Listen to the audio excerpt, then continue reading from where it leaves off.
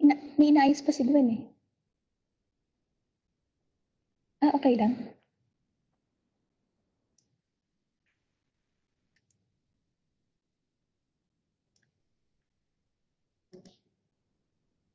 Kailangan mo nga ulit ako.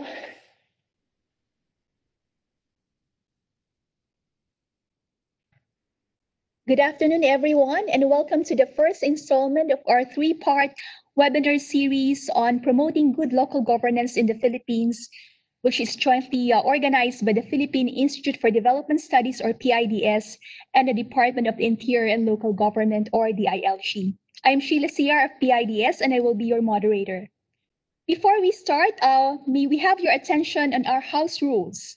For all attendees, your microphone is muted upon entry, and this is to prevent any background noise. And uh, to join the open forum, just use the chat box, which is located at the lower part of the screen. Just type your name, your affiliation, and your question.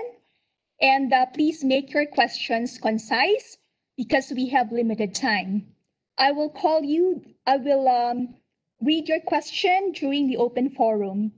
And uh, for those of you who are watching us on Facebook, you are also um, highly encouraged to uh, participate in our uh, open forum. Just use the uh, um, the comment section of Facebook. In addition, um, uh, when um, sending your uh, question, for those of you who are uh, using uh, WebEx, please uh, send it to all participants. I repeat to all participants and not to a particular person. Okay. With that, we can um, begin our webinar. Again, welcome everyone to our webinar for this week, which we are uh, conducting in partnership with the DILG.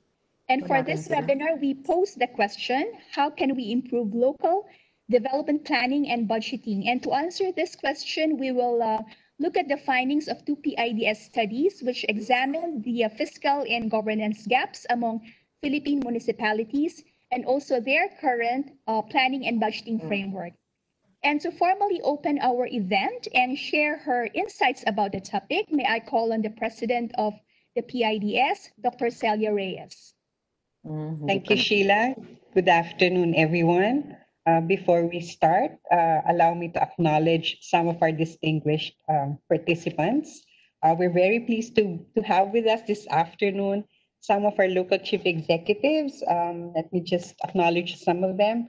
Uh, Mayor Mercedes Teves Goni from Bais Negros Oriental, Mayor Jesus Florencio Vargas from Abulug, Cagayan, Mayor Milagros Faderanga and Vice Mayor Fegalan from Banton, Romblon, Mayor Nathaniel Escobar from Burgos, Ilocos Sur, Mayor Virginia Perandos from Carmen, Davao del Norte.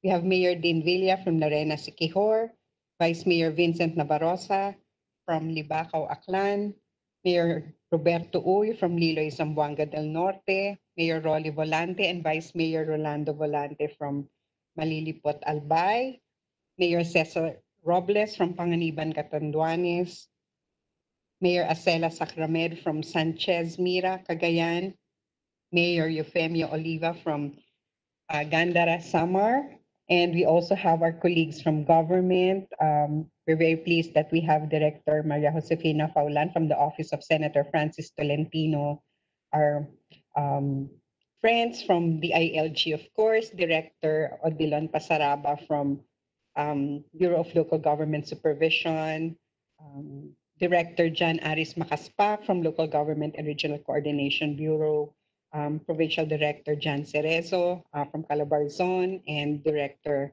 Sarah Jane Cerezo from um, DILG also, and the Executive Director of um, um, Local Government Academy, um, Executive Director Thelma Vecina, and also Provincial Director from Davao de Oro, um, yes, uh, Director Noel Duarte.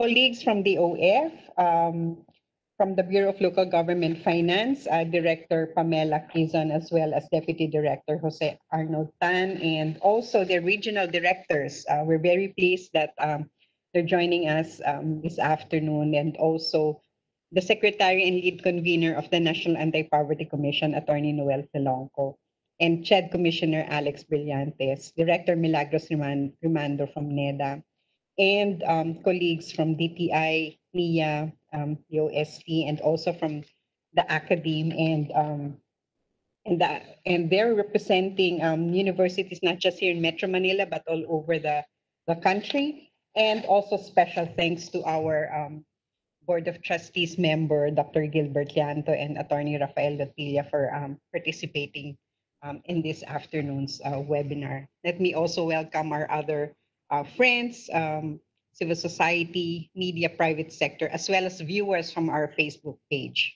We welcome you all to our weekly webinar. This is by far the largest audience we've ever had since we started our webinar in mid-May. And we would like to thank the Department of the Interior and Local Government, especially Undersecretary Maribel Sacendoncillo, Director Annalisa Bonagua of the Bureau of Local Government Development and her team, Mr. Richard Villacorte and his group, and the DILG Public Affairs and Communication Service for helping us in promoting this virtual event, which is, by the way, as mentioned by Sheila, the first of the three-part webinar series organized by PIDS in collaboration with DILG. I was informed that the registration for both July 30 and August 13 webinars are already closed. That means um, we've reached 1,000 uh, registered participants. Our platform can only accommodate uh, that many, but for those who are not able to register, they can watch the live stream through the PIDS and DILG Facebook pages. From the PIDS end, I'd like to thank our webinar team led by Director Sheila Siar for organizing these weekly webinars to disseminate PIDS studies. This afternoon, PIDS Research Fellow Dr. Justine Sicat will be presenting two related studies, namely Baseline Study on Policy and Governance Gaps for the Local Government Support Fund, Assistance to Municipalities, and Assessment of the Philippine Local Government Planning and Budgeting Framework. These studies are part of the outputs of the joint PIDS-DILG project spearheaded by Mr. Villacorte of DILG and Ms. Sikat and Dr. Sicat of PIDS. Um, just a bit of an information, the LGSFAM program provides financial subsidy to municipalities for the implementation of their priority programs and projects such as, but not limited to, evacuation centers and disaster risk reduction related equipment, local access roads and bridges, potable water systems, drug rehabilitation centers, and sanitation health and health facilities, among others. The first paper identified policy and governance gaps, particularly in infrastructure and planning, to provide baseline data on key issues, uh, on key areas and current planning practices of municipalities. Specifically, it established uh, baseline information on fiscal gaps in local roads, evacuation centers, and rural health units. It also documented governance gaps in development planning through a survey of planning practices vis-a-vis the DILG prescribed processes for municipal governments. The second study, on the other hand, examined the mechanism of development for local governments, as well as mapped out their current planning and budgeting frameworks.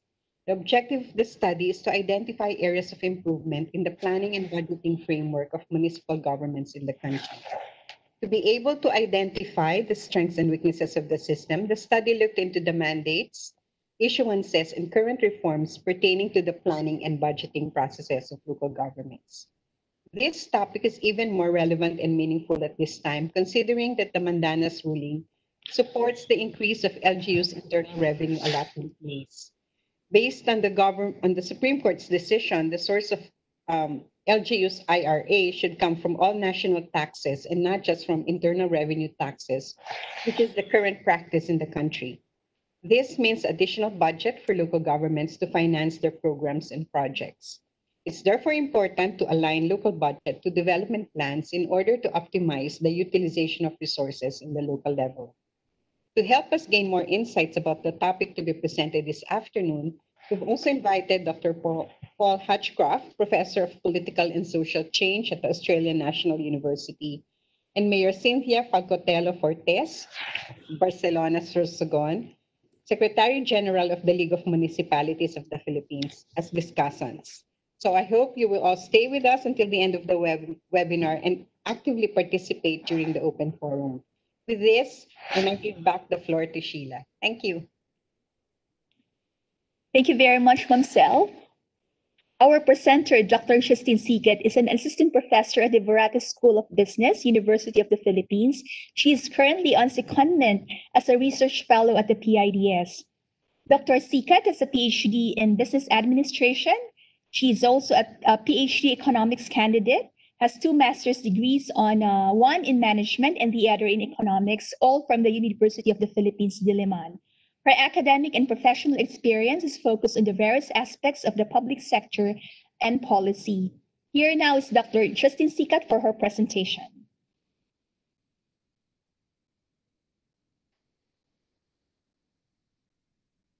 Justine? Hello, Justine? Yes, good afternoon. Thank you. Thank you very much, Dr. Reyes and Sheila, for the kind invitation. Um, here I am. I'm sharing my presentation. Can you see it already on the screen? Yes. Okay. So good afternoon, everyone. Thank you for um, coming to this presentation. Today, I will be sharing with you um, studies on local government um, planning and budgeting. And um, here you go there. So these are, this is the outline of my presentation today. There will be two studies as mentioned earlier. First is the baseline study on fiscal and governance gaps in municipalities. And second is an assessment of the Philippine local government planning and budgeting framework. For each of these, I will present the motivation, research questions, and objectives, the scope and methodology, the research results and findings, as well as the recommendations. Now, for the first study, it is the Local Government Support Fund Assistance to Municipalities baseline study on fiscal and governance gaps. And I would like to thank at this point um, our counterparts at DILG, as Dr. Reyes had thanked earlier, um, the PIDS management, RSD, RID for organizing this. I'd also like to thank the team, uh, Catherine Adaro, uh, Rixie Madawin, Angel Castillo, uh, Miro Capiri, and Alma Mariano, especially um, Lucy Melendez for for this this task. We have been working on this for the past two years, and um, the motivation behind the study is that for decades the national government has been assisting local governments in the delivery of devolved basic services through targeted programs. So the DILG came to us, um, figuring out we were figuring out how to to um, to be able to answer these questions first how much do municipalities need to close the gap in key devolved infrastructure areas, such as local roads, rural health units, and evacuation centers? And this wasn't an easy task.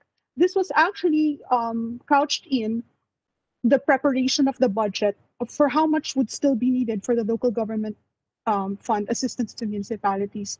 So what we did here was um, for the first part of the year, we went to local governments and asked for an inventory of their um, infrastructure services. And I'll be explaining this in more detail later on.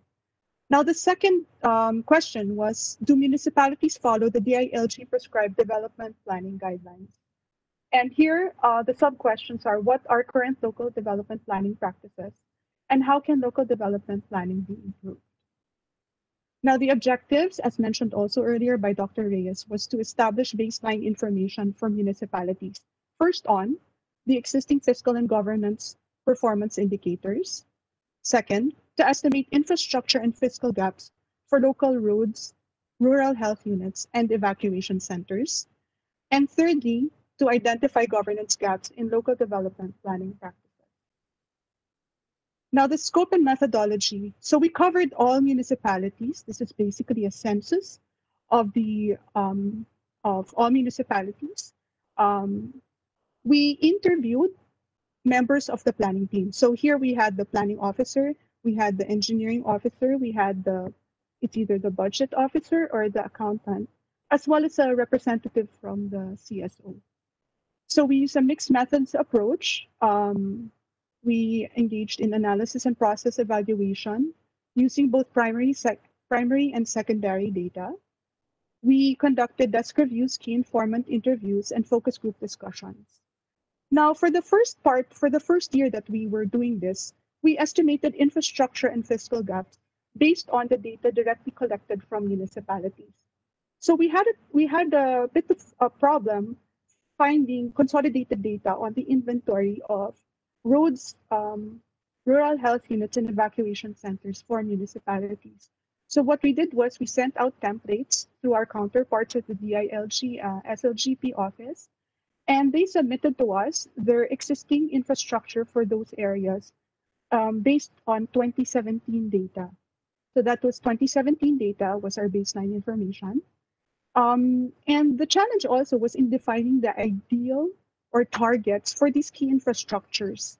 So what we did was we resorted to sectoral policy directions. What do I mean by that?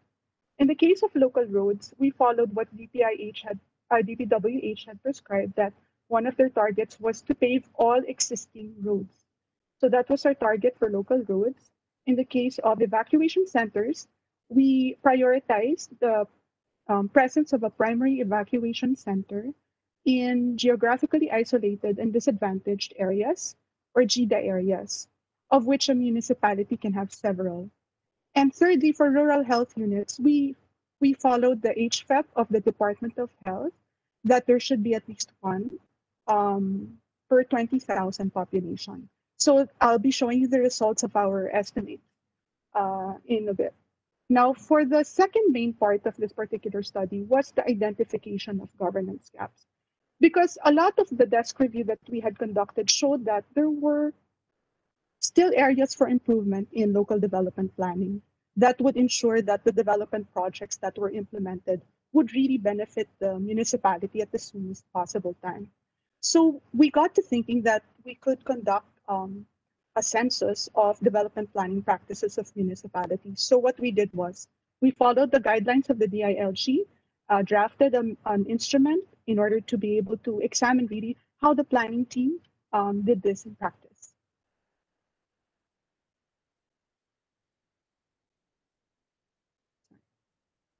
So what did we find? Well, what we found here, the, based on our desk review, this is the current fiscal performance of municipalities.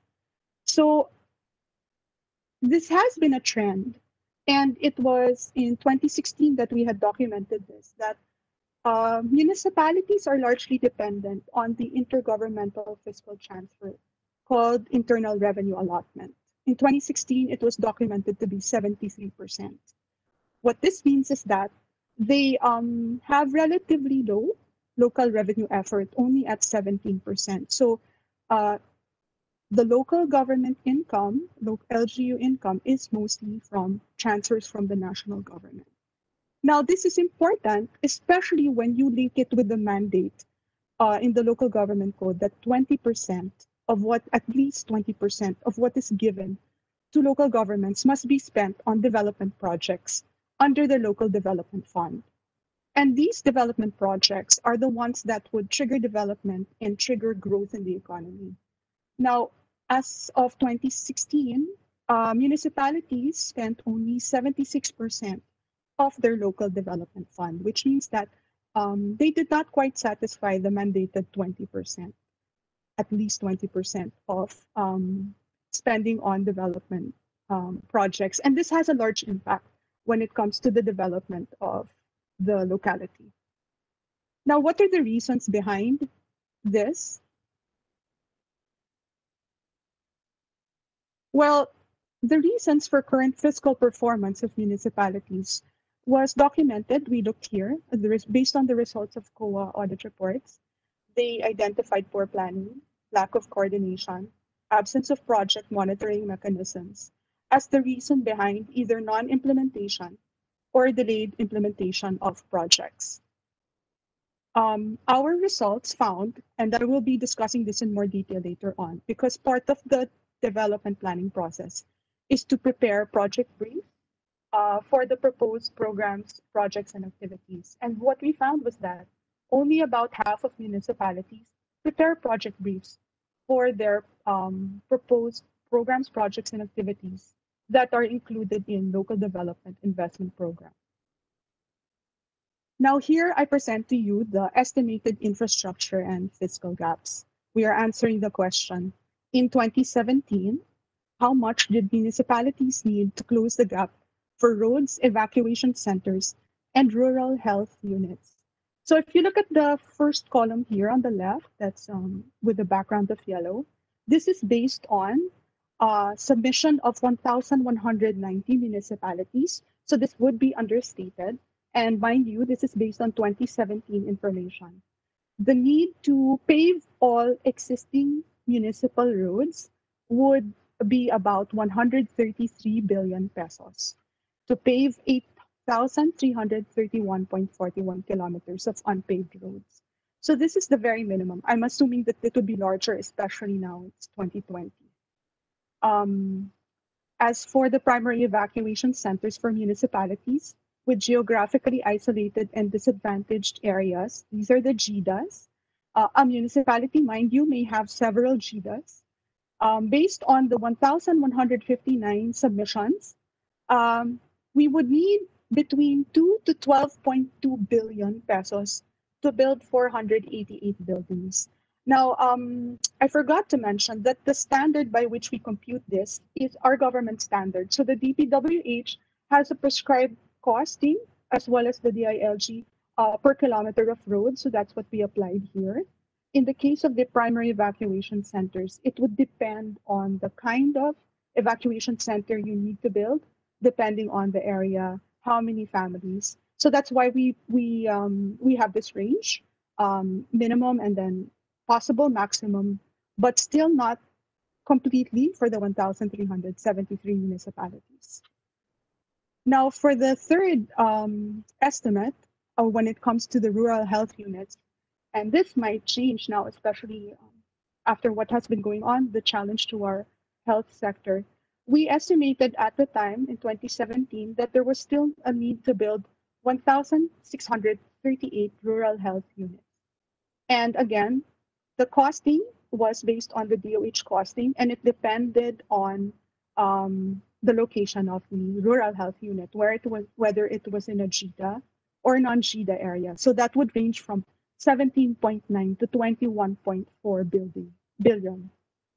Um, so if you total this all, this would be about 166.9 billion pesos um, based on 2017 uh, information. Now, having said that, um, we went on to identifying governance gaps in local development planning. So your patience, please, I know this is a rather cluttered graph, but this captures the entire development planning process of local governments. Um, local governments are mandated to um, draft a comprehensive land use plan that is valid for nine years. Um, from this, they are also mandated to draft multi-year, multi-sectoral development plan, which is valid for six years. And it is similar, same time period as the Philippine Development Plan. Now, based on the comprehensive development plan, which is six year, um, each uh, seating um, local chief executive will draft their own term-based agenda, which is called the executive legislative agenda. And for the benefit of those who are not familiar with the Philippine um, local government uh, framework, it, local chief executives have three-year terms. Um, so that's why they would draft uh, based on the CDP or the six-year plan, uh, an ELA, what we call an ELA. Now from this, there are implementation instruments that are drafted. The first of which would be the Local Development Investment Program. So the Local Development Investment Program are, uh, is a list of prioritized programs, projects, and activities that are identified to be able to close the gap between where the municipality is at the beginning of a term to where it wants to get in its vision and mission. And from this, but the local development investment program is valid for three years. Um, in the Philippines, we have an annual budget, and the planning planning process is uh, the planning period is longer. So this local development investment program must be prioritized again to into an annual investment program. So you get the, the most important um, projects that you want to implement uh, per year, and it should find its way into the annual budget uh, or the, the appropriation ordinance. So for example, if a newly seated mayor wants to build, let's say, um, three kilometers of roads in um, the three-year term, so it could be possible, if that's a priority, that you would divide, okay, I'll build one kilometer of road per year, and that would be prioritized in my AIP. So, so this is the overall uh, local development planning framework. Now, Our study, our survey focused on the drafting of the comprehensive development plan, which is the six-year plan. And here, as I mentioned earlier, we followed the DILG prescribed planning process. And we focused on the five steps. The first step was to organize and mobilize the planning team. The second step was to revisit existing plans, vision, mission, and sectoral goals. The third step was to prepare the ecological profile to depict the current state of the locality and identify a list of programs, projects, and activities to address the gap between said state and the vision. Now, the fourth step was to prioritize these um, programs and draft the local development investment program. And finally, it uh, the final step would be to prepare the needed implementation instruments. And these would be the capacity development um, CapDev programs for the LDIP as well as the um, monitoring and evaluation. Okay. Now, these are our results from the survey. Okay. So almost all municipalities claim to have plans. However, when we checked their period of validity, these plans were mostly not updated. What do we mean by this? The first circle here looks at the validity of the comprehensive land use plan. And here, 1,254 municipalities claim to have the CLUP. But when we checked, because we asked them what the year of coverage of their, their most recent CLUPs were, only 64 or 5% of municipalities had CLUPs that were valid within a plus or minus eight year range from 2018. So the manner by which we reckoned was that we inter- we did our um, field work in 2019. So we said based on 2018 plus or minus eight years, if the CLUP covered that period, that would be considered as updated. So here, only 5% had updated CLUPs. When we went to the comprehensive development plans, uh, we can see that 89% uh, of municipalities claim to have the comprehensive development plan. But of those that claim to have the comprehensive development plan, only about 490 had those valid within. In this case, it was a five year period, plus or minus five, because the CDP should be valid for six years. Now, lastly, from the CDP, um, you should identify um, the programs, projects, and activities that you believe would help you get to where you want to go um, in your vision. When we asked about the, the presence of the LDIP, 97.7% of municipalities said that they did have an LDIP. But when we check the validity, which is now this time a three year period, so it's a plus or minus um, in 2018, um, it was only about 31% of municipalities that um, had valid or updated uh, local development investment program. Now, now here are the highlights of the results of the specific steps. And I'm happy to say that generally the, the prescribed guidelines of the DILG are followed, but there are areas for improvement. Now for step one, okay, which is establishing the um, municipal planning team as well as identifying um, the, the vision and mission. We see here in the circle here that it's the municipal planning development coordinator or the municipal planning teams themselves who are the ones who initiate the development or updating of the CDP, the LDIP, and AIP. So it's they do know their responsibilities, which is very um, happy to see.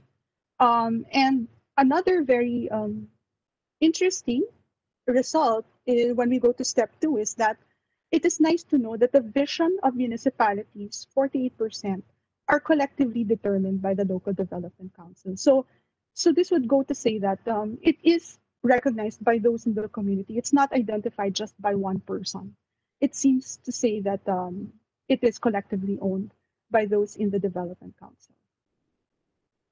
Now, the third step, which is the, determining the current status of the municipality through the ecological profile, um, it is the DILG has two prescribed um, the dataset tools that are the RAPIDS and the LDIS, which are prescribed. But it was interesting to find out that the community-based monitoring system uh, is the primary source of data um, of 57% of the municipalities. Um, and this is used in the identification of programs, projects, and activities. Now, the CBMS is not just used for their planning. Um, it's also used in identifying priority sectors, as well as the basis of budgeting. However, um, there is also a cost entailed in implementing this uh, data gathering. So the LGUs have to allocate a budget for the conduct of development tools, though this is not done regularly based on our results. Now, again, this is a rather heavy um, slide, but if you could bear with me. Um, this one pertains to steps four and step five of the planning process. Step four would be prioritizing the projects needed in the local development investment program. And step five would be the um, capacity development programs available for monitoring and for the LDIP itself.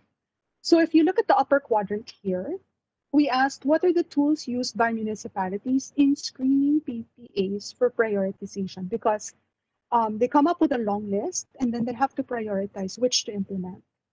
Now, the DILG guidelines offer that there are top three tools. Uh, the tool one is urgency test matrix. Tool two is the resource impact matrix. Tool three is the conflict comparability complementarity matrix. And though the urgency test matrix is commonly used by about 48% of the municipalities we interviewed, we noticed that the method of workshop and consultations is what is the primary tool used for prioritization of PPAs. Um, so this is not, uh, this was uh, an interesting, a very interesting result that they prioritize their projects based on workshops and consultations rather than the tools that are provided by the DILG uh, guidelines. Now, um, at the lower, continuing on with this idea, at the lower left quadrant, how do municipalities prepare their LDIPs? Well, as I mentioned earlier, 50% of municipalities always prepare project briefs. So that means that there is another proportion of municipalities that don't prepare project briefs regularly. So the challenge with this actually is that um, it would it might affect the quality of programs, projects, and activities that will be implemented, and this might um, have an effect as well on the development and growth in a particular locality. Um, I mentioned this also earlier. 68% of municipality used workshops, consultations as their basis for drafting the LDIP, contrary to the guidelines of tools one to three prescribed by DILG. And um, for this, this particular column, 68% of municipalities conducted a second round of prioritization. So in the DILG guidelines, there should be a long list, and then there should be a prioritization, first round, and then there should be a second round of prioritization. And according to the results of our survey, only 68% of municipalities did, in fact, do a second round of prioritization. Now, as we know, and as I mentioned earlier, this LDIP is valid for three years. Um, in order to be able to implement this, projects must be prioritized per year on an annual basis, which is why there is what you call the annual investment program. So if you go to the upper right quadrant of the slide, how do municipalities finance their annual investment program? So here it says we found that about half of surveyed municipalities were unable to finance their entire AIPs. And 51% uh, of these resorted to looking for other sources of financing.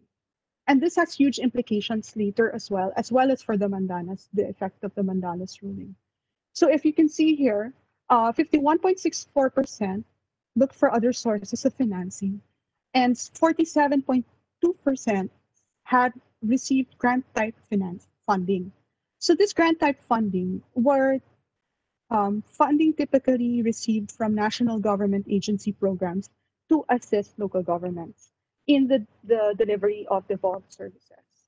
So another interesting result, which I'll go back to later on when I discuss the entire planning budgeting framework, is that only 8.23% of the um, funding this, that's received by municipalities is endorsed by the Regional Development Council.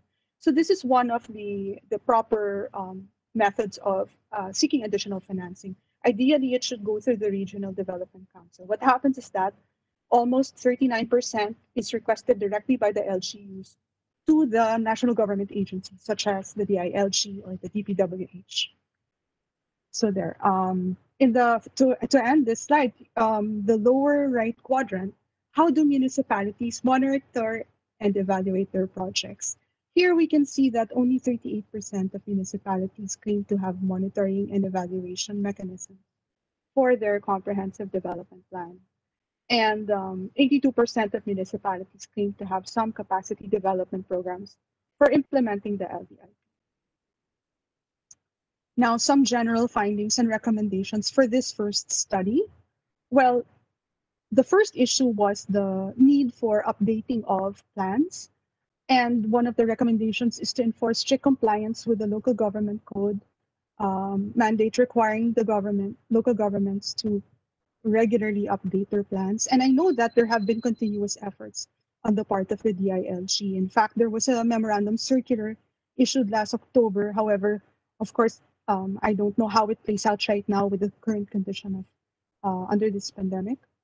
Now, the second issue that we identified was that um, the data set or the used for ecological profiling is uh, rather different than what what is indicated. So perhaps um, oversight committees, uh, oversight agencies can revisit the RAPIDS or reorient municipalities on its use for ecological profiling. Because if I understand correctly, elements of the CBMS actually are part of the, the RAPIDS and the LDIS. Um, third, the insufficient observance of ensuring the feasibility and quality of proposed investment programs uh, compromise potential development. As I mentioned earlier, uh, it's important that you know uh, and prioritize your programs, projects, and activities. And this would require compliance by municipalities to ensure project feasibility. This may need capacity building interventions in the preparation of project briefs to ensure feasibility and improve the quality of investments. Um, the fourth is the evidence on arbitrary and lack of prioritization of investment programs could result in less impactful development projects and inefficient use of resources. So this is just to highlight to municipalities the importance of following the two-round shortlisting and using the DILG prescribed criteria in prioritization. Or perhaps right now would be the best time to, to revisit um, these criteria and work closely with uh, local governments as well in the process of prioritizing uh, programs, projects, and activities. And lastly, refers to the CapDev uh, instruments available to the local government. So here, strengthen CapDev, especially in monitoring and evaluation projects. Okay, so the second study um, is an offshoot of the first study.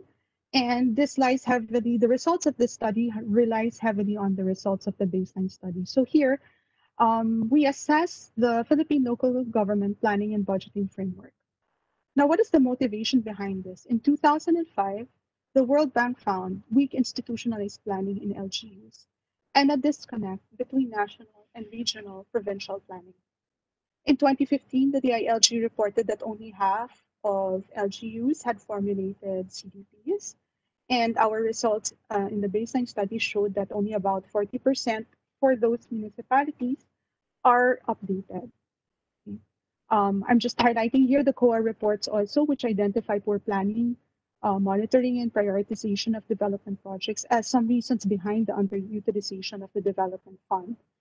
Um, and as well, another motivation is the anticipated increase in intergovernmental fiscal transfers because of the Supreme Court's Mandanas ruling, um, which implies a larger amount, um, a broader tax base for the computation of these transfers, which would imply a larger amount going to LGUs, which would therefore imply a larger mandated amount of at least 20% going to the local development fund. So the research questions are very simple. What is the current planning and budgeting framework for local governments? How is it situated in the national government planning and budgeting framework? And what are areas for improvement? Uh, the objectives primarily is to map out current local planning and budgeting framework in relation to national government planning and budgeting. And one of the motivations behind this is that there have been recent um, efforts really to align vertical integration of uh, local plans to the Philippine Development Plan so that although we recognize the independence and the autonomy of local governments and their prioritization, it's also nice to be able to map out how they contribute to the development of the entire Philippines. Now, another objective is to identify strengths, weaknesses, and areas of improvement in this particular framework. Okay. So the data and methodology, we use mixed methods, um, process evaluation using primary and secondary data. Desk review, um, we use the results of the baseline study, which I won't repeat uh, anymore in our discussion. Uh, and then we use the KIIs with LGUs and oversight agencies. Now, these this is a summary of the more the larger oversight national government agencies when it comes to local governments. So we have the DILG, of course, which is there to establish, mandate, uh, and formulate plans, policies, and programs to enhance administrative, technical, and fiscal capabilities of LGUs. We have the DBM and the DBM regional offices that issue annual local budget memoranda, review annual budgets of provinces, cities, municipalities in Metro Manila, and also update the LGU chart of accounts with COA. We have the NEDA and the regional development councils under them, which are tasked to integrate uh, approved plans of provinces, highly urbanized cities, ICCs, in the regional development plans and in the Philippine Development Plan. Um, they are also tasked as well to formulate public investment programs, similar to the LDIP earlier that I mentioned. And we also have the DOF, the Bureau of Local Government Finance, which is tasked to supervise revenue operations and resource mobilization of LG. So this is the mapping of the Philippine government planning and budgeting framework. So here we have, this is a rather heavy slide, we have the entire uh, Philippine budgeting and planning framework. So at the bottom here is what we had just discussed. This, this is the municipal, this would apply to the municipal and the component city development planning and budgeting process.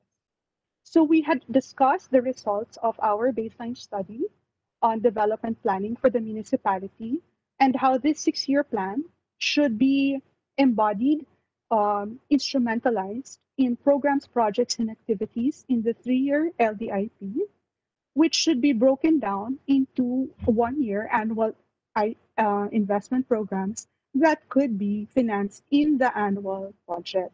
So let's spend a bit of more time on the local planning and budgeting framework map. So that's the lower row I just highlighted earlier. So this one, if you see the, the, the gray shaded area, this one already we had discussed. These, this looks at the development planning process and how it figures into the annual investment program. So I won't repeat this anymore. We just discussed this process, but uh, the annual investment program should find itself into the local annual budget. And this is the local annual budget process. It's very similar to the national budgeting process. We start first with budget preparation. So there's a budget call, and um, the different divisions would prepare their budget depending on their budget. Afterwards, there's budget authorization and review. So it has to be enacted, just, just as in the case of the National Expenditure Program, it will become law as the GAA. Such would be the case for local governments. It would be an appropriation ordinance. But uh, one thing I'd like to highlight here is that a higher levels of government may review the the appropriation ordinances of lower levels of government. So this means that um, provinces would have the mandate to review the, the appropriation ordinances of component cities and municipalities. Now, once the appropriation ordinance has been approved, this will already be executed throughout the year, and it would be followed with um, the review, budget accountability, and monitoring and evaluation so that the results of the implementation in that particular year would feed back into the budget preparation of the succeeding fiscal year. So that's it. These are the principles in local budgeting, and they're very similar also to national budgeting. It should be policy based. Here, it's recognized that local governments have their own priorities, but uh, it should be harmonized in the development plans and reflected as well in their investment programs. Now, um, procurement planning and budgeting linkage, there should also be a linkage between the project procurement management plan and it should be consolidated into an annual procurement plan. Um, budgeting should also be performance informed. It uses performance information in appropriation documents to link funding to results and to provide for a more informed resource allocation and management. And budgeting should also particip be participatory. So this was taken from the budget of manuals dated 2016. Okay. Now let's go back to the overall mapping. And what is important to highlight here is that we show the role that local governments, municipalities, and cities play in trying to attain the long-term vision of Ambition Natin 2040. So Ambition Natin 2040, we know, is a long-term view. And each administration we know drafts what you call the Philippine Development Plan. In our case, it's for 2017 to 2022. And right now, mid-year, and because of the COVID pandemic, I know that we are um, um, government authorities now are reviewing as well the, the PDP. But this PDP, there have always been efforts to, to be able to integrate it in, with the regional development plan that would be drafted based on the provincial development plan. So that's the first column here. So the mandates allow for the NEDA through the Regional Development Council to have an iterative process with the provincial uh, government, Provincial Development Council, in order to be able to draft the regional development plan. Now, this later on we will see is is part of the current efforts of the national government to, to integrate and the, the the entire planning process. But what could be improved um, would be actually the linkage between the municipal city development plan with the provincial development plans, because there is limited evidence as to whether um, this in fact uh, occurs. And the same thing happens for investment programs. But what's important here is that the arrows are two ways. So it's an iterative process. Each municipalities, component cities, and provinces are recognized to have their own different needs and priorities but it's important also to recognize how they can contribute to uh, national development. Now, the process follows also similarly for public investment programs. Um, these are the programs, projects, and activities identified um, in the planning process that would get the municipality or the national government where it wants to get in the, at the end of each term. But here, it the process is not so iterative um, by the NEDA ADB guidelines, it's really unique what local governments need in their localities in terms of development projects is unique. So this should uh, hopefully, ideally, feed into provincial development investment program, which should find its way into the regional investment program and subsequently the public uh, investment program. Now, similar also to local governments, um, that have three-year programs that have to find its way into an annual budget. The public investment program is a six-year thing um, at the national level. So we have to figure out how to break it down into the annual General Appropriations Act, which is drafted based on the National Expenditure Program or the President's Budget, which is drafted by the, the Department of Budget and Management based on submissions of national government agencies. And here it's very interesting to highlight that um, I mentioned earlier that not all municipalities are able to finance their annual investment programs. So they seek grants from elsewhere, they seek funding from elsewhere. Some of them, I think it was 8%, seek grants from the Regional Development Council through the Regional Development Council. Um, some would go to the province, but most would go directly to national government agencies. Um, that have uh, programs that would uh, that are there to assist local governments in the delivery of their basic services. So this as well would have implications moving forward um, for when the Mandanas rule would be implemented. Okay, so um, for local planning, some findings and current efforts. As earlier, there is a need to encourage the updating of local plans. Um, there's also a need to ensure the quality of PPAs in our study, we found that in 2019, the DILG and NEDA had a program called the Localization of the PDP, which offered capacity building on identifying development outcomes, crafting of investment programs, and identifying what is needed to translate these programs into physical programs. So these are current efforts that could possibly be continued. Um, Section 114 of the Local Government Code indicates that local development plans may be, may be integrated with those of the next higher level of local development councils. However, it is articulated explicitly that the integration of provincial plans and investment programs to the PDP is mandated, and it should be done through the NEDA's RDC.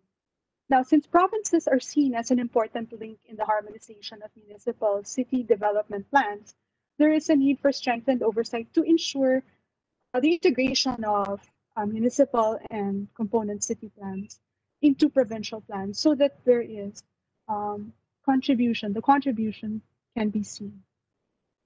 Now, for local budgeting, um, some findings and current efforts, though local government units are given the autonomy um, to determine their own budget, there are also mandates that allow for review by provincial governments of the appropriations ordinances of component cities and municipalities, and by the DBM regional offices of provincial highly urbanized and independent component appropriation budget.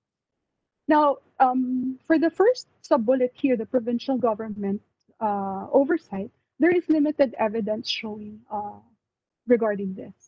So this could perhaps also be something looked at by our national government oversight agencies.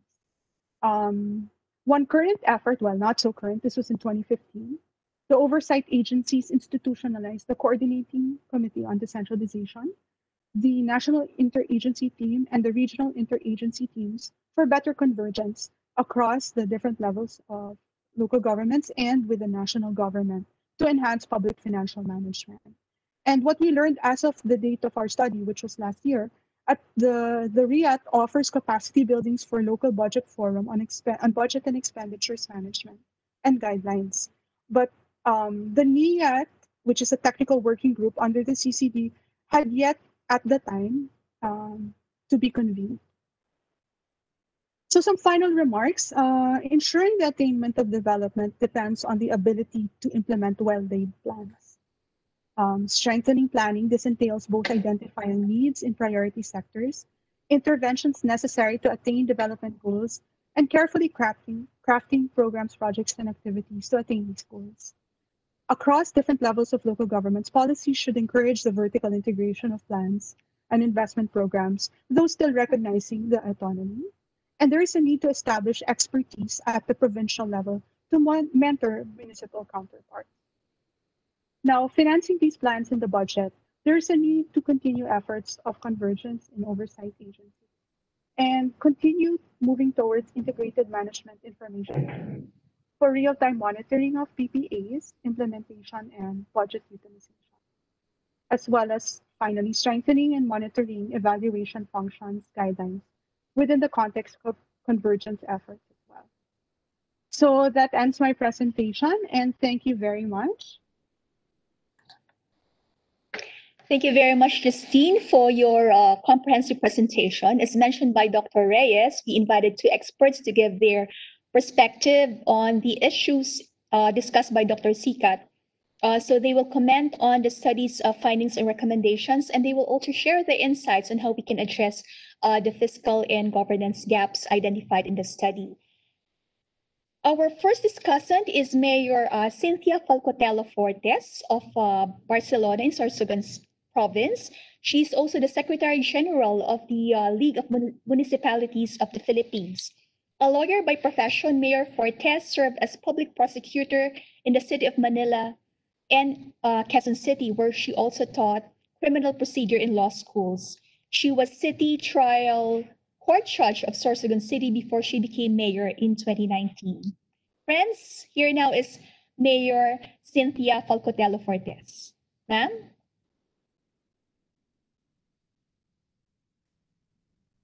My due thanks. Hello. My due thanks to the leaderships of the Department of Interior and Local Government and the Philippine Institute uh, for Development Studies especially uh, the author presenter, Dr. Justine Diokno-Sicat, and all the attendees. Just as I am steered by the responsibility you have put upon me, I am proud to be sharing online space with you all. Historically, my munici- municipality is on the receiving end of grant type assistance and the LGSF AM, from local access roads to improvement of water systems to extension of water connection. The last time I counted, two of those 10 grants thus far were cascaded this current year, one of which came into the coffers only six days past on July 10, 2020. It is an LGSFAM 11 million assistance for local access road leading to a mountain, Mountain Agingay, Mount Agingay tourism site. So I am happy to, I am thanking LGSFAM and the DILG and DBM and all the agencies that uh, make this happen. The papers were um, enriching, to say the least.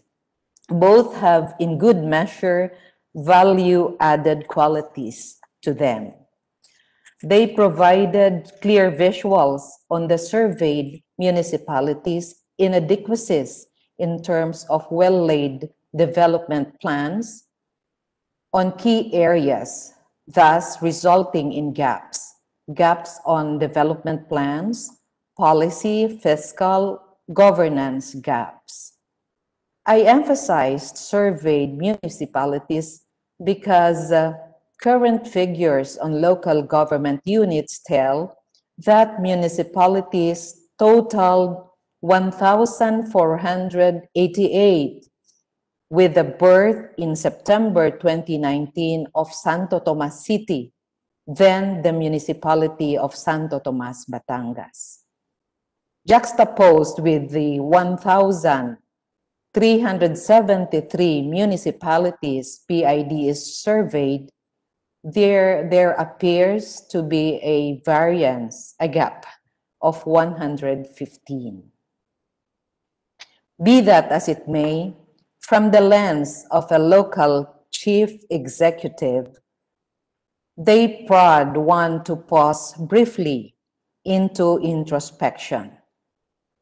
How is my LGU proceeding in terms of development? Are its planning process and instruments law compliant and DILG compliant? Did I obey Section 444 of the Local Government Code mandating that LCE should direct the formulation of development plans and implement the same? Sadly, we saw it from the presentation. A big slice of the pie chart pointed to the MPDOs as authors of development plans.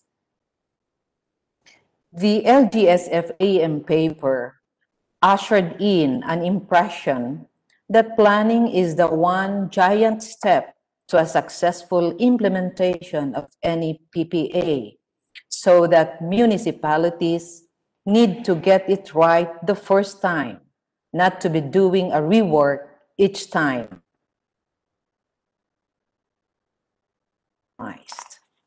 Planning should be strengthened, the paper infused. The way to do it is by identifying priority sectors, identifying interventions purposely to attain development goals, carefully crafting PPAs, vertical integration of plans, establishing expertise at the provincial level. To my mind, breaking down the second into specifics by clearly defining into the process the identification of development goals would be a shot in the arm in further strengthening planning. At the risk of rhapsodizing about the paper, the LGSF AM paper, I must say that I am on all fours with its findings that attainment of development depends on the ability to implement well-crafted, well-laid plans. Competencies are the order of the day in development and governance. That said, the notion of mentoring referenced above comes into play. Self-sufficiency is a wonderful thing, but mentors help get the real work done. With a mentor, it is not like walking through the dark for the municipalities, but being guided by a local governance expert veering toward the right direction where the goals are, and most likely with zero chance of a pitfall. Adding a caveat of my own, local governance expertise should be contextualized vis-a-vis the profiles, attributes, and requirements of a given municipality which is in need of a helping hand. The same way that development plans are customized, an expert shouldn't be a square peg in a round hole.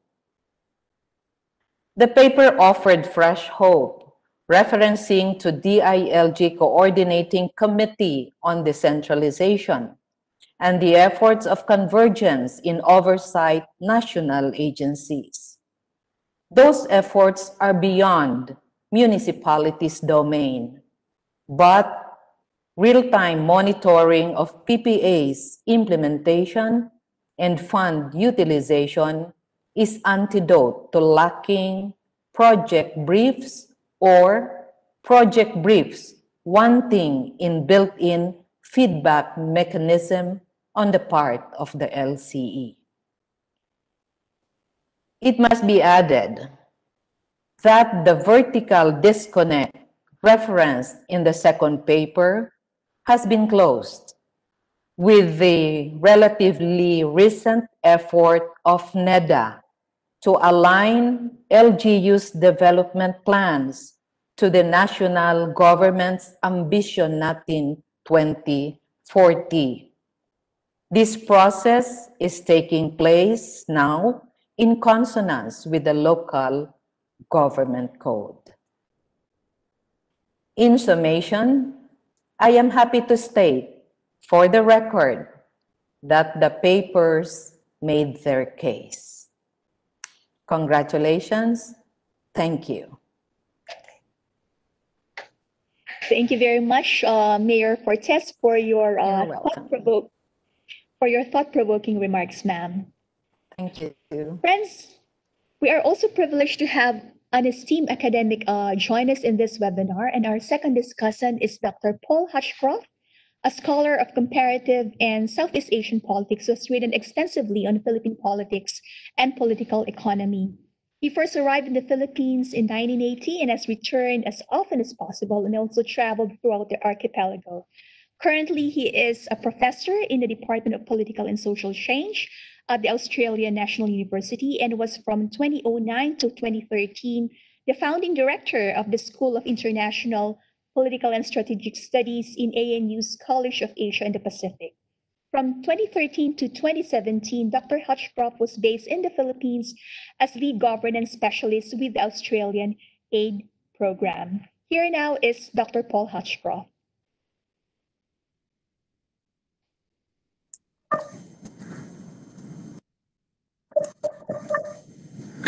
Maraming salamat, um, uh, Sheila, and uh, thanks as well to uh, uh, Dr. Reyes uh, and um, to um, all those at PIDS and DILG that have made this event possible. I'm really grateful to have had the opportunity to learn from the excellent, excellent analysis of uh, uh, Justine Sicat and her team. Um, and uh, they have uh, produced two very important baseline studies on critical issues of local governance in the Philippines.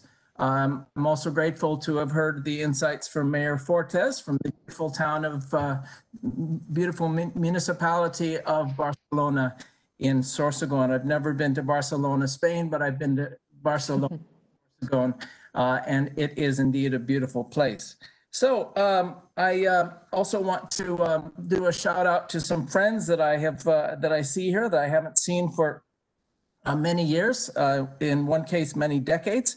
So uh, magandang hapon sa inyong lahat. Uh, hapon uh, kaninyong tanan. Um, so I um, have uh, prepared uh, some slides that I would uh, like to um, go through and uh, want to begin just with some reflections about um, our current um, situation uh, globally, uh, more specifically, the situation in the Philippines. Um, we are having this webinar uh, at, uh, first of all, uh, a time in which there's been a great deal of discussion about possible uh, major changes in the nature of central local relations in the Philippines, particularly all of the uh, talk of federalism in the early parts of the um, uh, Duterte administration. Now, um, a lot of that talk of federalism, uh, in my view, took uh, basically took the oxygen uh, away from uh, what are very important um, reform opportunities in uh, issues of uh, fiscal and governance gaps uh, in LGUs in the Philippines to draw on our title for today.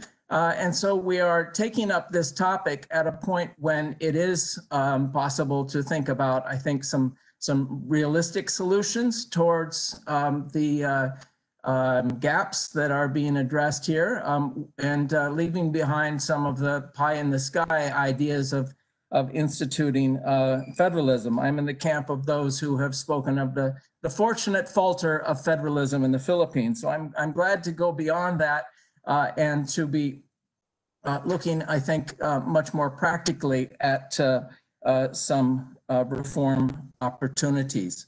Um, so if we could move on to the, the, um, the next um, slide.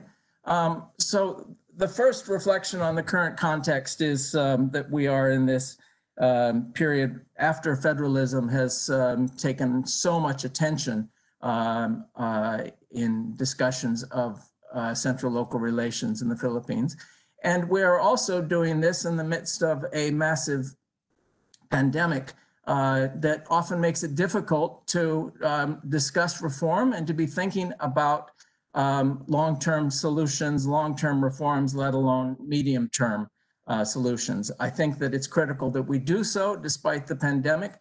And in fact, the pandemic makes it even more critical that we look at some of these um, basic issues of, of uh, governance uh, gaps and fiscal gaps that uh, um, Dr. Sicat and her team have, have so nicely uh, highlighted in their two um, baseline papers. So um, moving on, I want to uh, talk about uh, some important contributions from the um, studies. And then if we have time, I don't know if we will, some other ideas uh, that I have on uh, issues of, of uh, improving decentralization outcomes in the Philippines. So let me start off with just a, a, a um, look at the uh, a basic paradox of, of decentralization. This comes from a scholar uh, who's been influential in my own work, uh, who notes that one of the most curious aspects of decentralization is the responsibility that a national government must assume to assure the realization that decentralization, as doctrinally advocated, uh, is supposed to uh, serve. Uh, so in other words, uh, paradoxically, decentralization requires a strong and capable central state able to enforce the rules by which authority is being devolved to the subnational level. And I think that the authors of uh, Dr. Sicat and her fellow uh, authors have, have very much, um, uh, maybe not explicitly, but implicitly recognized um, this important uh, paradox. Um, a uh, corollary to that is to look at differential outcomes of, uh, of decentralization. Um, and um, uh, that is especially in the absence of a strong and capable central state able to enforce the rules by which authority is being devolved to the subnational level, we should expect to see substantial variation in outcomes from one locale uh, to the next. Um, so uh, in some places, decentralization brings government closer to the people, and we can anticipate that devolved responsibilities and enhanced resources um, are more likely to be well utilized for the public good. Um, but in other places, decentralization makes local government the preserve of powerful local elites and clans. And here, uh, we can anticipate that devolved responsibilities and enhanced resources may often be captured for private gain, uh, gain at the expense of uh, public good. So I, I, want to highlight the, those uh, basic um, uh, thoughts about uh, decentralization before I move on. Next slide, please. Um, to look at an important issue that has been highlighted in the first study, and that is local ge revenue generation. Um, so the uh, first study starkly shows the critical need for municipalities to close the gap in key devolved infrastructure services and to generate more revenue um, towards uh, toward that end. Um, and I think the paradox of decentralization suggests that local government units are unlikely to be able to do it on their own, particularly in a patronage-based policy, it is rare for local politicians to want to um, raise taxes. Now, there are exceptions, of course. There are those that make a case to the citizens, citizenry that uh, um, basically uh, says, um, uh, we're going to be raising taxes if it's okay with you, um, but um, you can be assured that I will do everything I can to make sure that those taxes are improving basic public services. Now, um, one possible solution um, that I think is part of the Department of Finance um, tax packages is the National Valuation Act. And that basically uh, lifts up, as I understand, um, the um, updating of scheduled market um, valuations from the local level to the national level. And I think this has a lot of um, uh, potential to help local governments to uh, generate um, more uh, revenue, uh, in particular from real property taxes. So um, I think that's an important um, uh, proposal that is out there. I'm sorry, I don't know the uh, current state of that um, as it makes its way through the, the Philippine Congress, but I, I do recall it was one, part of one of the tax, tax packages. So um, we can move on from there. Um, a, a, critical issue is just reducing high levels of, of dependence on the uh, IRA. Um, as um, uh, Justine's um, study shows, uh, in 2016, 76% uh, of local revenue came from the internal revenue allotment, meaning it was not uh, uh, generated locally, but coming from the center. So I want to offer some thoughts on the uh, internal revenue allotment. We can move on to the next uh, slide. Um,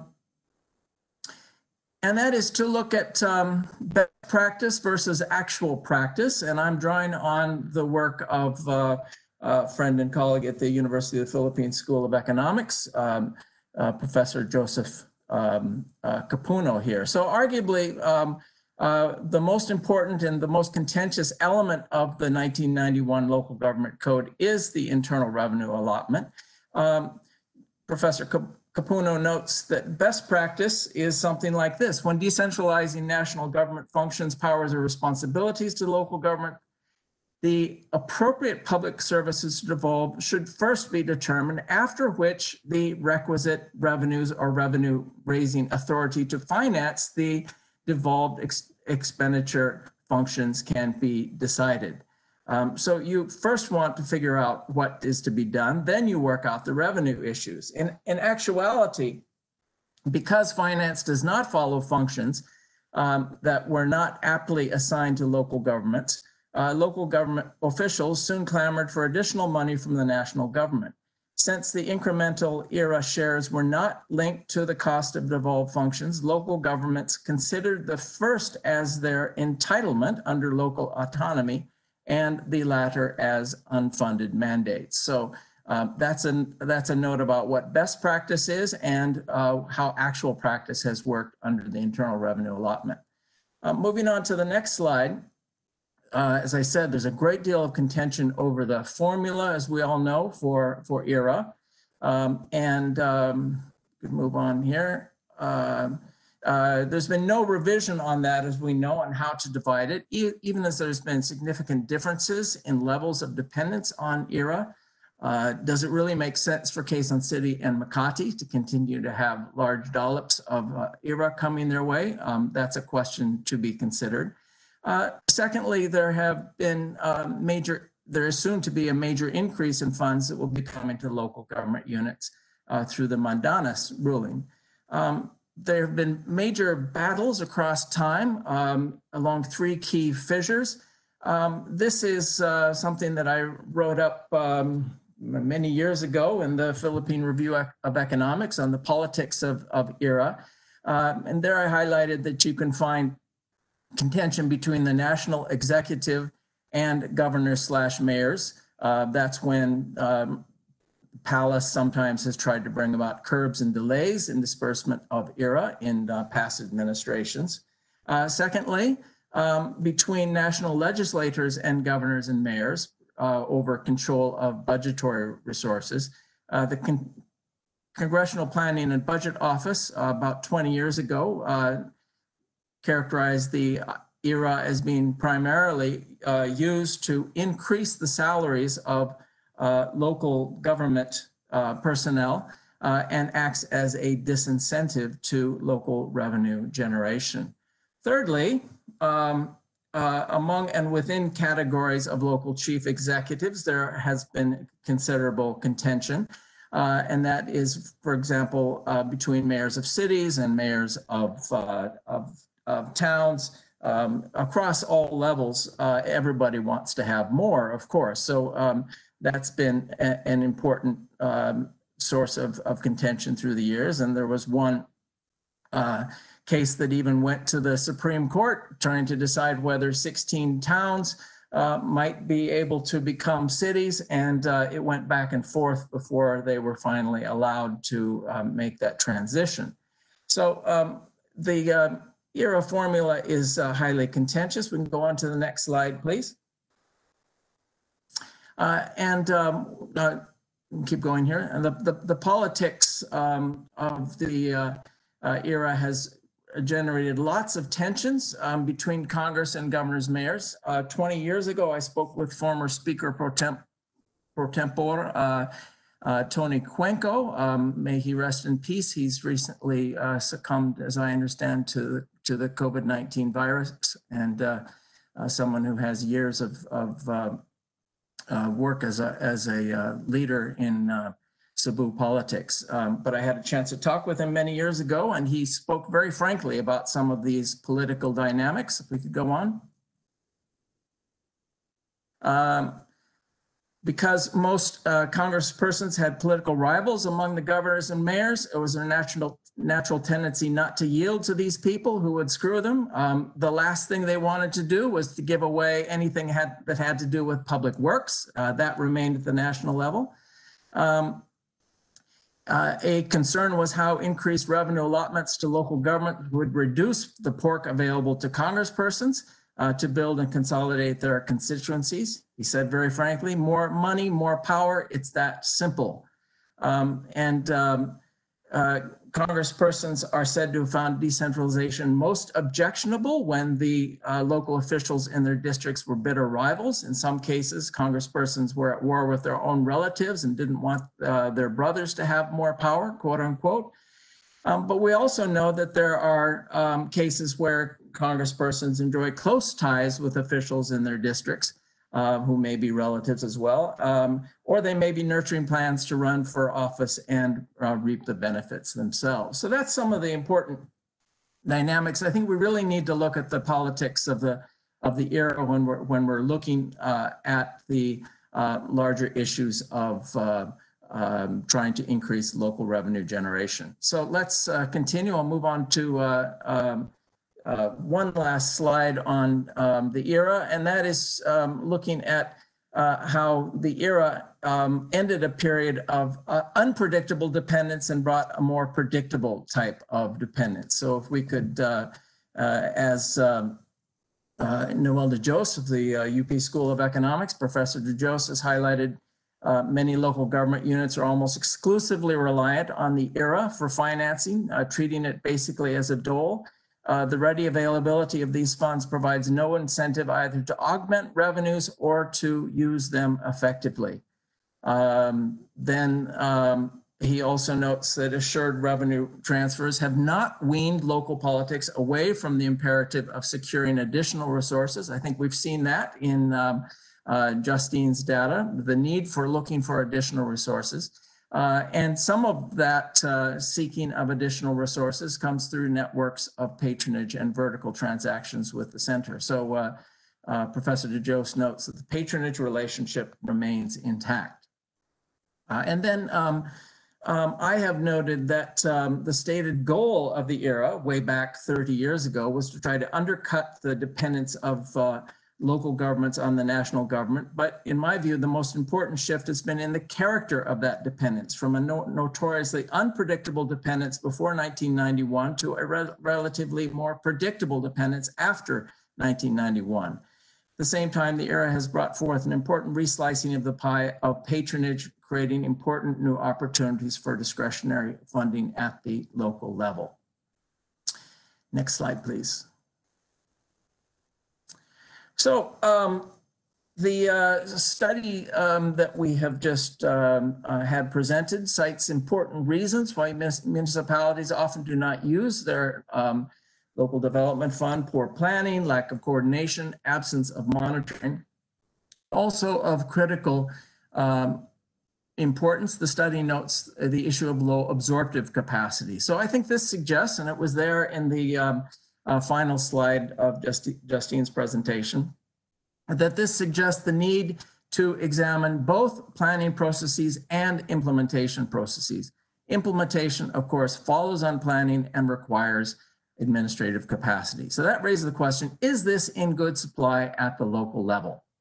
And um, as someone who's been looking at local government's issues in the Philippines, I will say that I am amazed at how uh, little attention there is to the basic issue of the quality of local bureaucracy.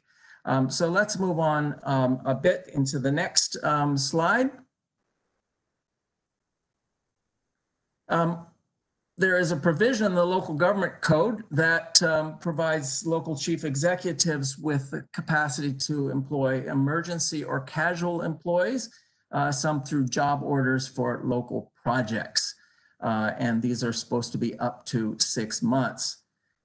Um, if we could move on there. So a key question is um, whether local governments have the quality of administrative staff required for increasingly complex governance uh, at, and local service delivery at the local level.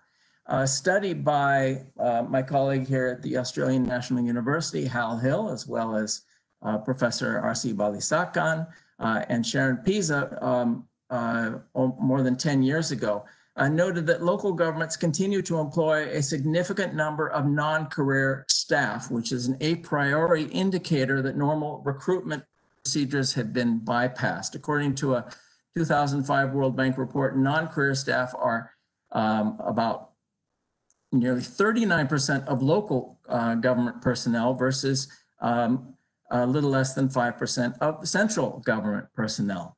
Um, let's look at some um, recent, um, more recent data uh, coming from the Civil Service Commission. I want you to look just at what is highlighted there in yellow, um, particularly at the um, bottom. Uh, Career employees at the national government level are uh, nearly 87%, and casual and job orders are only about a total of 11%. Um, but when we look at LGUs, career um, personnel are less than half, and casual and job orders are um, somewhere around 45%. So there, this um, affirms that the data from a, an earlier World Bank study, the one I cited just a bit ago from 2005, uh, still has a lot of, of validity as of uh, 2015 uh, as well. Key point, uh, you get a much larger percentage of casual and job orders at the local level. I want to proceed just to some uh, uh, anecdotal evidence, if I might, from my extensive um, travels around the years, often to um, uh, observe elections, um, going into the provincial office of a national government agency in a uh, southern Tagalog province in 2010. I was struck at how the people, uh, not yet, not yet on Bicol, let's pull back on that one. I'll do them one at a time. Uh, the Southern Tagalog uh, experience was one in which it was obvious that the people who did the work were at the back of the office, but to get to them, uh, one had to walk by uh, lots of people who were presumably casual employees because they didn't have much to do, um, sitting and reading the newspaper, filing their nails, or whatever. Um, this is not uh, productive labor, to say the least, and it's no way to get development projects uh, actually implemented. Uh, another, uh, we can go on to the next one. Um, experience um, that I heard about in um, um, uh, Bicol in uh, 2013, again around election time, was just the brilliance of a local province that managed to take one public service uh, position and divide it into 12 different uh, posts. So uh, 20, uh, 24 different posts rather. Um, so 24 people got a casual job for 15 days. Everybody got it for half a month. Uh, and so um, they were able thereby to uh, reward 24 of their political supporters to come in. Now, um, maybe these people were incredibly productive across their 15 days in uh, government, but it is a level of turnover that, that suggests it's not going to be the um, uh, best way to bring about development outcomes. Uh, next um, uh, came in Iloilo. This is Iloilo City Hall uh, in 2019, uh, where there were two colors of employees within the uh, City Hall. There were the Plantilla employees that had um, their um, um, uniforms, but then there were others that were in these blue t-shirts and they were the casual employees brought in by the um, uh, former mayor uh, to try to reward people. And uh, I don't speak Ilonggo, but according to the local researcher that I was with, um, he overheard a conversation in our elevator in which a couple of them said, well, our gig is up in about five weeks, isn't it? You know, because they didn't expect the mayor to win. They were just enjoying what they were doing uh, at that point. Again, high level of turnover is probably not the best way to bring about uh, highest levels of productivity. Um, I'll uh, just briefly note um, a couple other things from two cities in the Visayas were signature projects uh, in uh, two major cities. Uh, we can go on here. Um, we're, we're able to, uh, we're, we're, lacking continuity in their staff uh, for those projects. This is um, something that you would expect those cities to want to be putting a lot of resources into, um, but high turnover uh, across both of those. Um, we can proceed then. Uh, on the other side of the ledger, um, I, I, have also in many places around the country uh, seen very impressive levels of continuity and capacity, particularly in local planning and development offices. Uh, and getting back to the um, uh, key, one, one of the key elements of these baseline papers, the importance of better planning. Um, there are, I think, some important islands of strength, if you will, um, that uh, can be built on where planning officers, uh, this is anecdotal evidence, sometimes seem to have a, a, a bit more continuity than other bits of local uh, it, um, local government administration administrative structures. So how can capacity um, be enhanced? Um, building stronger bureaucratic capacity is a huge challenge, all the more in patronage-centric um, polities. Whoever figures out how to do it should get a Nobel Prize in political science. The only problem is there's no Nobel Prize in political science, but it's it's a it's a tough conundrum. It's a difficult thing to do. Uh, and the study suggested the need to strengthen uh, capacity development programs uh, in monitoring and evaluation. I would just highlight also the need to make sure that capacity development um, uh, um, be promoted for those who are uh, implementing the project. The second study highlights the importance of intervention slash institutional support from oversight NGAs, and let's look at them as a group uh, and uh, move on to the next slide, which I think is my almost final slide. Um, four oversight agencies are highlighted, uh, DILG, looking at core oversight and development, DBM expenditure, NEDA and RDCs, looking at planning, uh, and DOF and uh, its Bureau of Local Government Finance, looking at uh, revenue issues. And, and some important uh, points in the study about the need to try to build up more vertical integration. Provincial planning should include city and municipal plans and establish expertise at the provincial level to men mentor municipal counterparts. So on to my final slide. Picking up on this final point of uh, study two, um, the importance of uh, ensuring the attain attainment of development depends on the ability to implement well-laid. In order to do so, I think it's critical to put in place the right administrative capacity, and this means the best personnel um, possible uh, suggesting as well a need for a possible fifth national oversight agency um, involved in what would be a long-term challenging project, and that agency would be the Civil Service Commission. So I'll leave it at that. Uh, again, thank you very much, Justine, to you and your team for all the terrific insights that you have generated from your study. Thank you very much, uh, Professor Hutchcroft, for your thought-provoking comments. Before we start our uh, Q&A, May I ask uh, Dr. Sicat for her brief uh, response to the comments of our discussants? Yes, thank you, Sheila. I'll see how I can keep it brief because the the, the comments of Professor Hutchcroft are pretty long, but I'll manage well. Thank you very much, Mayor Fortes, and thank you very much, Professor Hutchcroft, for your comments. Uh, I'm glad that um, I made my case as the case uh, Mayor uh, Fortes said, and she's very sharp still in, in observing that there is uh, there were more than uh, 1,373 municipalities, and that is correct. Uh, the project that we uh, tackled covered only the municipalities, excluding those of BARMM, which are one, 115 in number. Um, because of at the time they had they were undergoing a, a reorganization in their regional structure. So so that's the reason why. I also appreciate your comments in, and I agree exactly with the contextualized um, implementation of reforms. It has to be unique. Uh, each municipality is different. So the manner by which um, development planning can be enhanced and capacity building can be enhanced would also depend on what the existing conditions in a particular municipality is. So thank you for that also. Um, and it's good to hear that there is continuing efforts in the vertical integration between NEDA and local governments as well. So Thank you very much, Mayor Fortes, for that. Uh, Professor Hutchcroft, um, I appreciate the discussion of both the paradox of decentralization and the differential outcomes of decentralization. And this is exactly what we have been observing and have been trying to explain for the longest time. Um, I'm glad that you brought up the Train 3 package on the National Valuation Act. I'm also incredibly supportive of that. Uh, in that particular, and I think the BLGF is here. Um, perhaps they can update us on that. But um, under that, they are making the, because the real property taxes should be the main source of, of local revenue effort. However, recent years, it has been overtaken by local business taxes.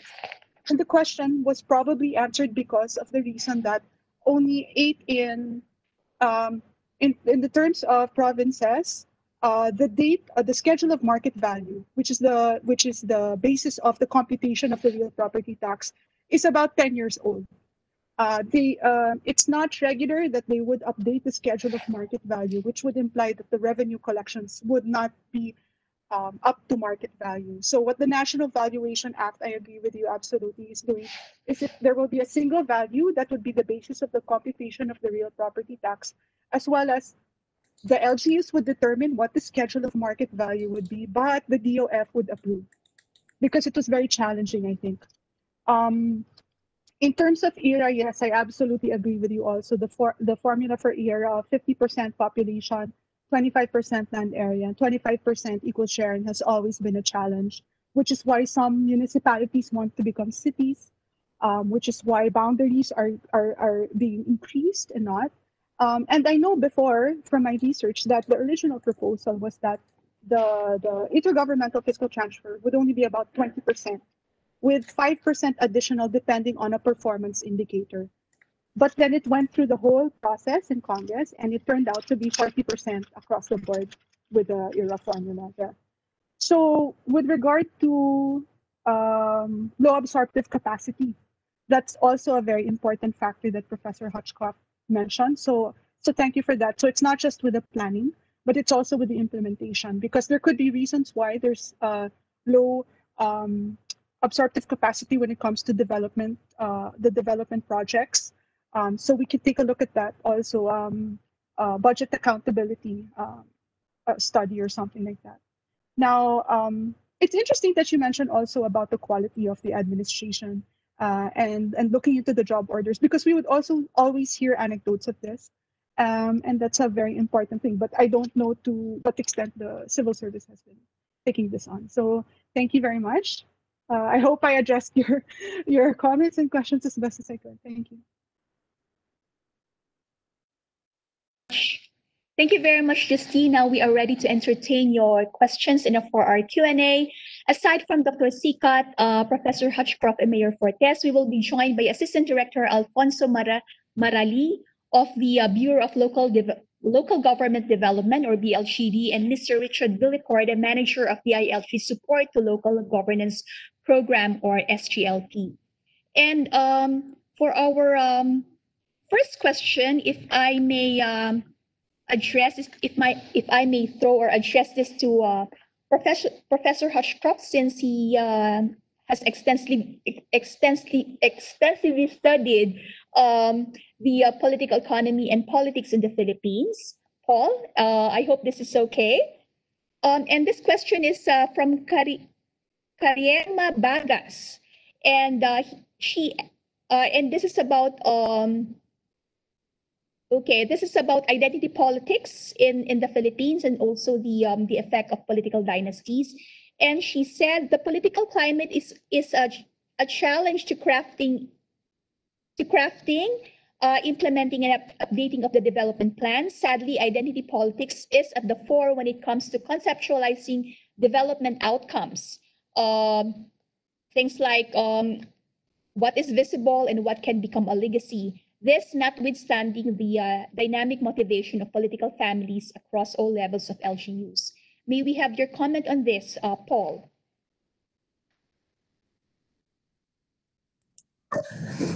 Well, thank you. Uh, and uh, certainly um, uh, any analysis of local governments has to look at the strong role of uh, families at the local level.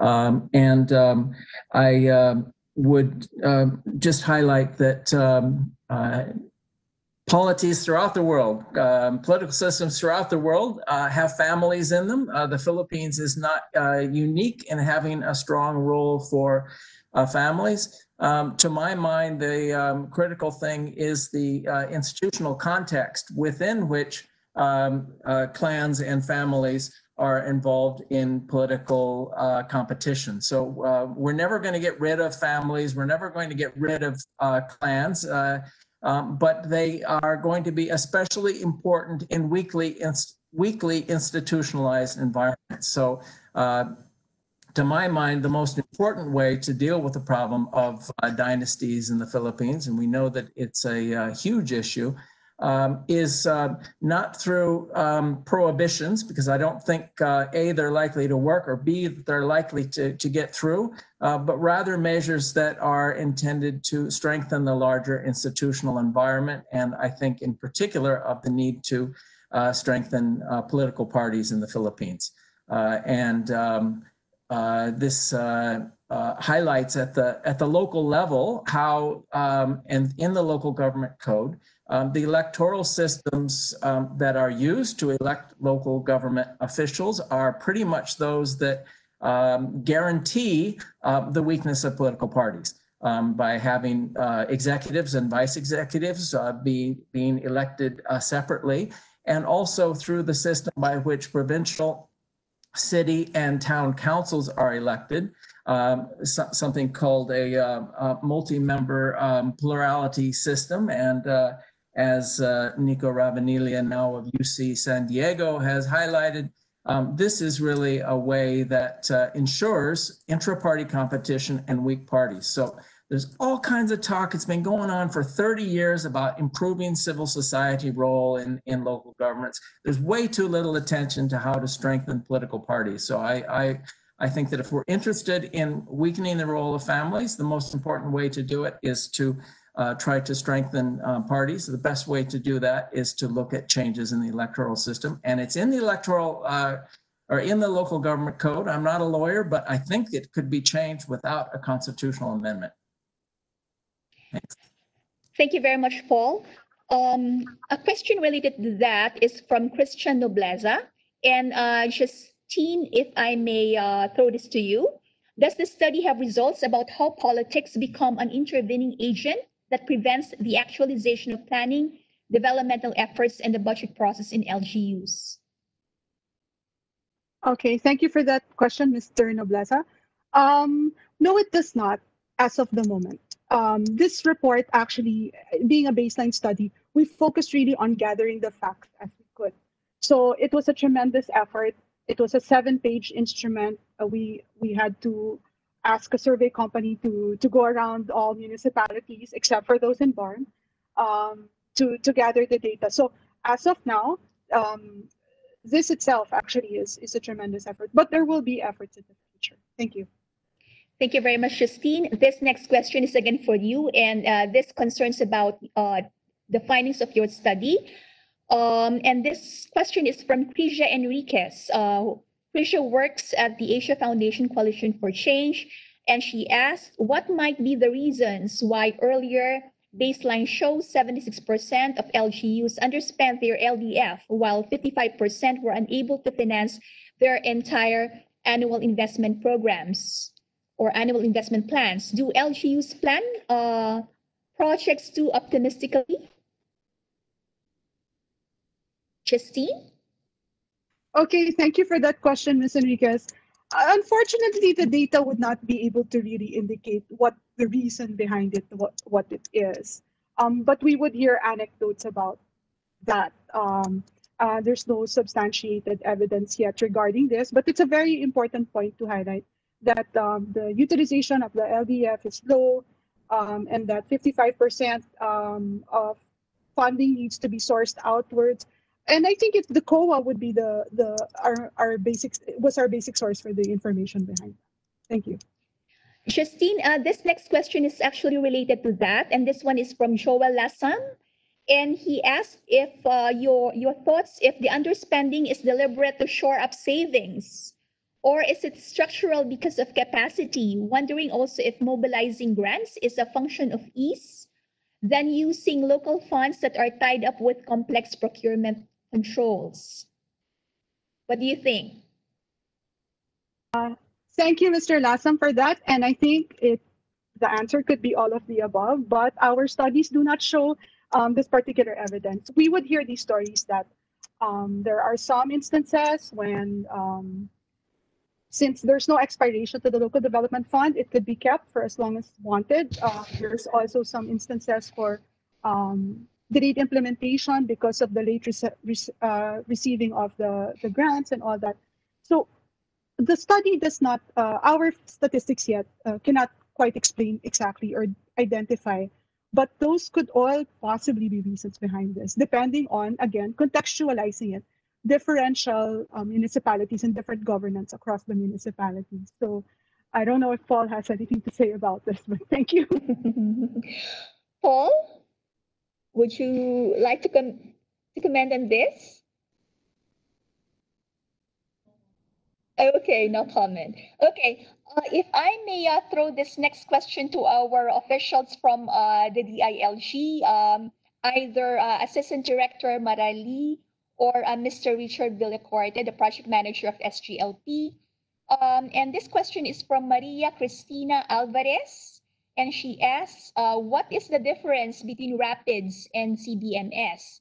And why does the DILG prescribe RAPIDS instead of CBMS when in fact DILG should be the one to ensure compliance of the LGUs in the various CBM CBMM activities and assist PSA in the conduct and implementation of CBMS. AD Marali or uh, Mr. Villacorte, your uh, answer, please.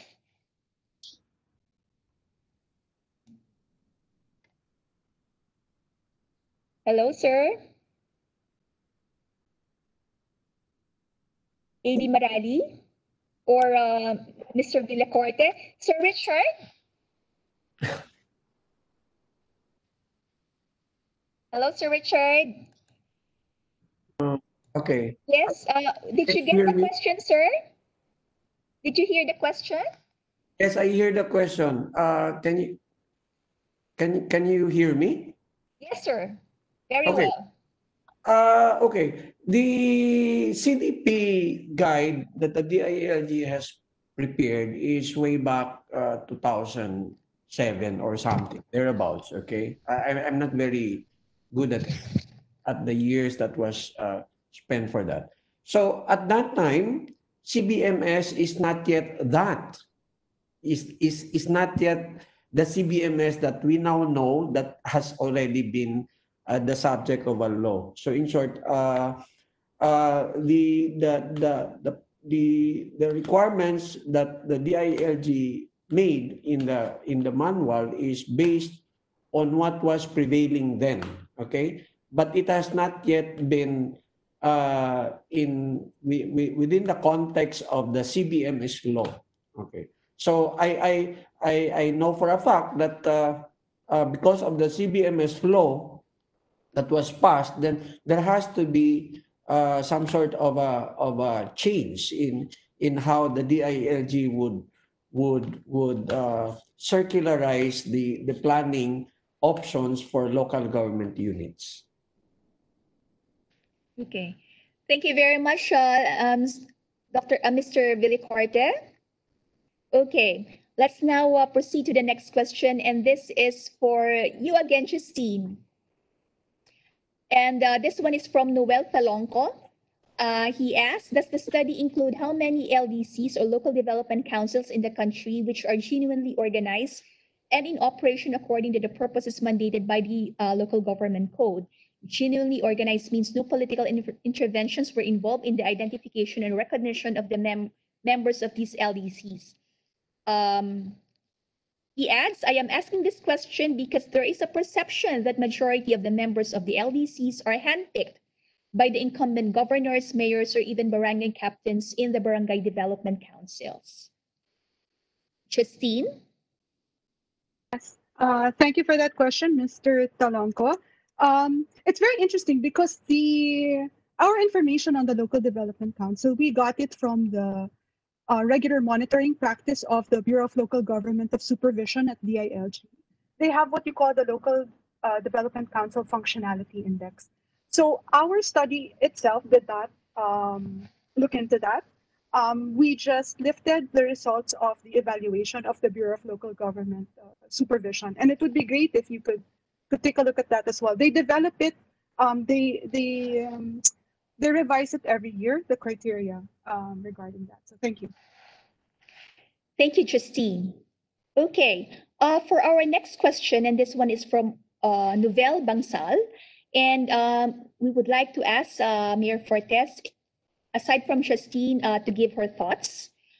Okay, uh, no- Novel Bangsal asked, um, municipalities have the least uh, revenue capacity relative to provinces and cities, having very limited taxing powers.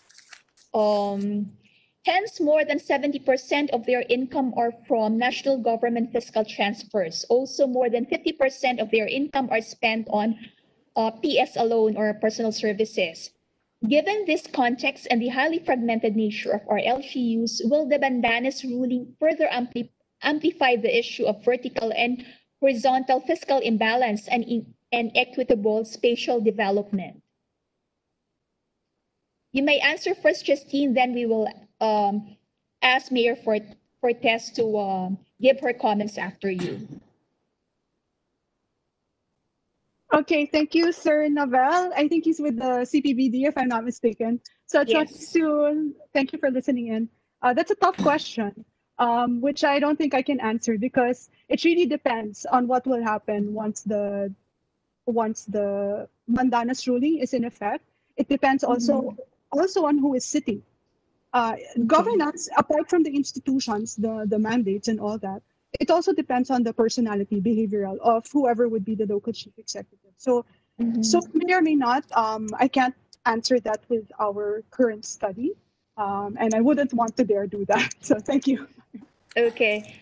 Mayor Fortes, would you like to give your thoughts as a local chief Yes. executive? Yes, yes. Go ahead, Um, ma'am. For sure, for sure, the Mandanas mana, the mana, uh, because of the Mandanas ruling, will be a boost of the LGUs. Um, 2022, it's going to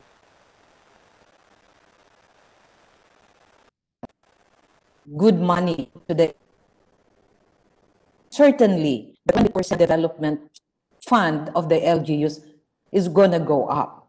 So it will be a big boost. Like in, in my jurisdiction, and I, I'd like to tie this up to the earlier question on underutilization. In my jurisdiction, um, I am very sure that the antidote to underutilization of the local development fund is monitoring. Monitoring of uh, the PPAs embodied in the AIP begin from begin to end, meaning um, you go through the AIP from time to time, as the LCA should go through it from time to time and monitor the early stages of the implementation of the PPA, PPA until they are done. So it will, the Mandanas uh, mana will be a big boost to the 20% coffers of the LGUs. Thank you. Thank you very much, Mayor Fortes. Okay, let, us now go to the next question. And um, this is from uh, a follow-up question from Mr. Noel Felongco. And this is for you again, Justine. Uh, Republic Act 8425 identifies 14 basic sectors as partners of the national and local uh, governments in development. What can you advise for these sectors to be given the opportunity and authority to be involved actively in the local development councils? Could you Christine? kindly um, repeat again? Sorry, Sheila. Yeah, the It's, it's our okay. Republic. Act 845. Yes. Yes, uh, this one is, uh, again, for a follow-up question from Mr. Noel Felongco. And uh, Mhm. he asked, uh, okay, Republic Act 8425 identifies 14 basic sectors as partners of the national and local governments in development. So he's asking uh, about your advice on how these sectors can be given more opportunity and authority to be involved actively in the local development councils. Okay, so thank you for that, Mr. Felongco. Again, the follow-up question. I don't think I can answer it categorically, but when we did our interview, we look. we also included in the planning team a representative from the CSO. And these would typically be co- coming from one of the priority sectors. So, so um, for all of, I think, for all of our municipalities, there was always one representative. It depends on which kind of CSO. We Mhm. have in the study um, the the rank of the frequency of a certain sector that's represented in the development council. But with regards to how to get them into, I think that would be more of really within the political realm. Um, among, for example, in a locality, what is your priority? Fisheries, senior citizens, poor women. So there. Thank you very much. Perhaps we can ask, uh, we can also throw this question to Mayor Fortes, uh, given her experience in Sorsogon, Mhm. in, uh, Mhm. in uh, Barcelona, ma'am. Um, I must say that, you know, there is no politics in, in doing that because uh, there is a clear cut uh, DILG prescribed requirements before a civil, uh, an organization uh, may be accredited and become part of the um, local development council. So there is a process. The Sangguniang Bayan has to accredit the, the organization. And there you go. Uh, there, there is a list. Uh, prepared by the Sangguniang Bayan and from there mostly in in in the case of my municipality practically part of these to uh, a wider spectrum of uh, sectoral representation It is very good to hear, ma'am. Okay, uh, for you. our next question, this is from uh, Corinne Canlas of the World Bank. And um, uh, her, questions, her question pertains to the GIDA areas or the geographically isolated and disadvantaged areas. And uh, she said most GIDA areas are least populated and may not pass the standards of DOH for a, for an, um, a rural health unit. But these are the areas most needing the RHUs. I work with uh, WB, DSWD on KALAHI-CIDSS, and I have seen this as a problem given remoteness of GIDA areas. So how can we adjust standards and make it variable based on certain criteria? Um, some thoughts from um, our um, speakers. Uh, probably you can start, Justine, and we can also ask uh, perhaps Mayor Fortes and even our friends from the DILG for their remarks. Yeah. Um, uh, thank you for that, Sheila, and thank you for the question, Ms. Canlas. And that's also a very important issue. When we were going to, when we were estimating the infrastructure gaps, of course, we recognize that it might not be feasible to have one RHU for for this certain amount, or it uh, it might cross municipalities and all that. So so these are uniquely defined. So what we were tasked to do really was just to give an overall picture of how much might be needed to continue the LGSFA pro- program. And what we got was 166 billion. But you're absolutely right. It has to be very uniquely defined. And sometimes it may not be feasible what the standard. So it would depend on the current conditions, contextualized as uh, Mayor Fortes said earlier. Thank you. Any other remarks from uh, our um, speakers? Yes, ma'am, go ahead po. If, if I may venture, one permanent solution to that is let's connect those GIDAs to the main, to the population areas of the localities. That way, that way, they would no longer be classified or categorized as GIDA. They would no longer be isolated or disadvantaged. So physically, let's connect these GIDAs to the population areas of, uh, of the locality. How? By building roads, bridges, connecting the GIDAs. I guess that's one practical and permanent solution uh, to the problem of GIDAs. And the, the moment that we have connected them to the pub- population areas, then that's the time that we can build maybe RHUs or health centers in those um, former GIDAs. Thank you very much, Attorney Fortes. Okay, um, for our next question, um, and this is from Arnold uh, Rowan Pita. Many LGUs have not been fully exercising their revenue raising power, especially its proprietary and regulatory functions and local taxation, taxation and have become very reliant um, on intergovernmental transfers or the IRA. What is our guarantee that the LGUs will utilize their larger share to fund their mandates and not keep asking for more? Any of our um, uh, speakers can, uh, Paul, would you, would you have um, some comments? Uh, any thoughts on this? On this? Yeah, I think, I think in short, there is no guarantee that the LGUs will uh, utilize the larger share for mandates and not just uh, keep asking for more. Um, The uh, concerning thing about the Mandanas uh, ruling, from my standpoint, um, watching these issues for a long time, looking at the politics of the era, uh, is um, how it uh, has the capacity just to um, pile more patronage resources uh, onto uh, the, the local government level. Now, that is not to say that all uh, local uh, executives would be using the funds for that purpose, but uh, when you give out a great deal more money without any clear performance criteria, you are going to get some results that are good. People, uh, uh, local politicians using using the money for good purpose, and uh, other places in which it's just going to be uh, used uh, to um, enhance uh, electoral position and not necessarily for for development outcomes. So I think it is concerning to have such a large impost on the national um, budget um, without having clear uh, performance criteria. So in short, I don't think there's any guarantee at all. Thank you very much, Paul.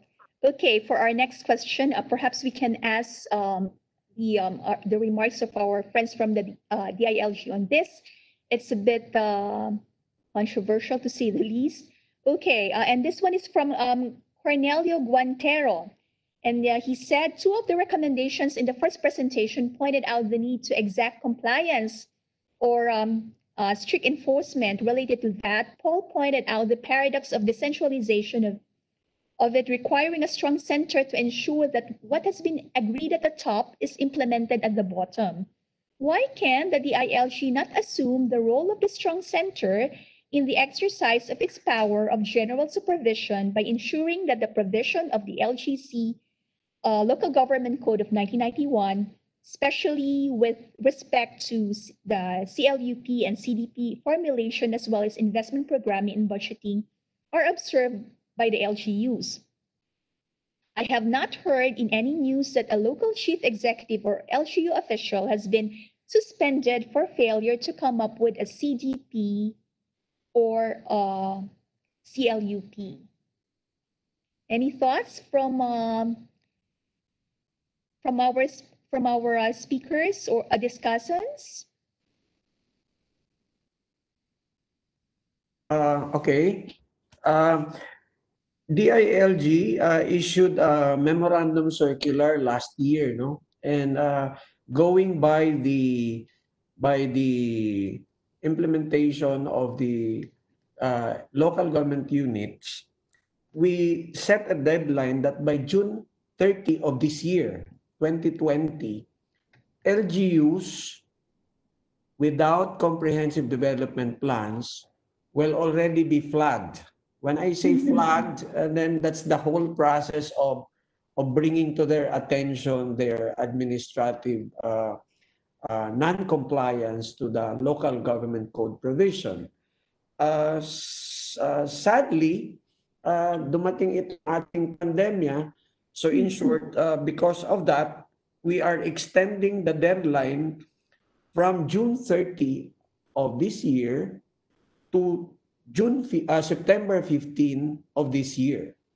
So after September 15, all cities and municipalities without a comprehensive development plan will already be flagged, meaning we will already bring to their attention and then after flagging, then it comes the show cause order and after the show cause order, then that, that, that, th- there goes the administrative uh, uh, remedies that is available to the state. But uh, we are moving towards that direction now. Thank you. Maraming salamat, Mr. Villacorte, for um, for your clarification. Actually, what you have just said is a response also to the question of Ms. Precious uh, Joy B. Moises. Um, sabi niya, Ms. Sicat have, has shown on her data that on 2015, only half of the LGUs formulated their CDPs. I would like to know how does the DILG takes action on the remaining half that were not able to apply or to comply since non-compliance is still happening at the moment. So nasagot na po yan ni, ni Sir Richard. Okay, um Okay, um Justine, this ne- next question is again for you. Are there fi- any findings or recommendations as to the gaps on the processes and framework on local development uh, planning? Well, this um, Ms. Justine has uh, has shown uh, the results on on the study on uh, uh, the gaps in, in terms of local development planning. So na- nasagot naman ito ni Ms. Justine sa kanyang presentation. Uh, huh.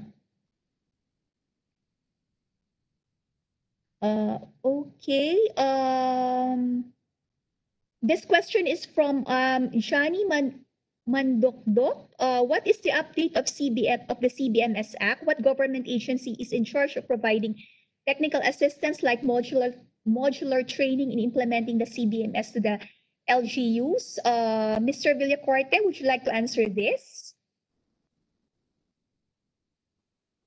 Hello, sir. would like to- I would like to defer the, ano, to uh, either to uh, Assistant Director June Marali or to Okay, Dr. Celia Reyes because she would know better okay. uh, Yes, yes. regarding CBMS. AD Marali, could you uh, get, could we get your response on this, please? And then we will go to uh, uh, Dr. Reyes.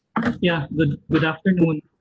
Um, right now, the the Philippine Statistical Authority is in the forefront already on the, of the CBMS.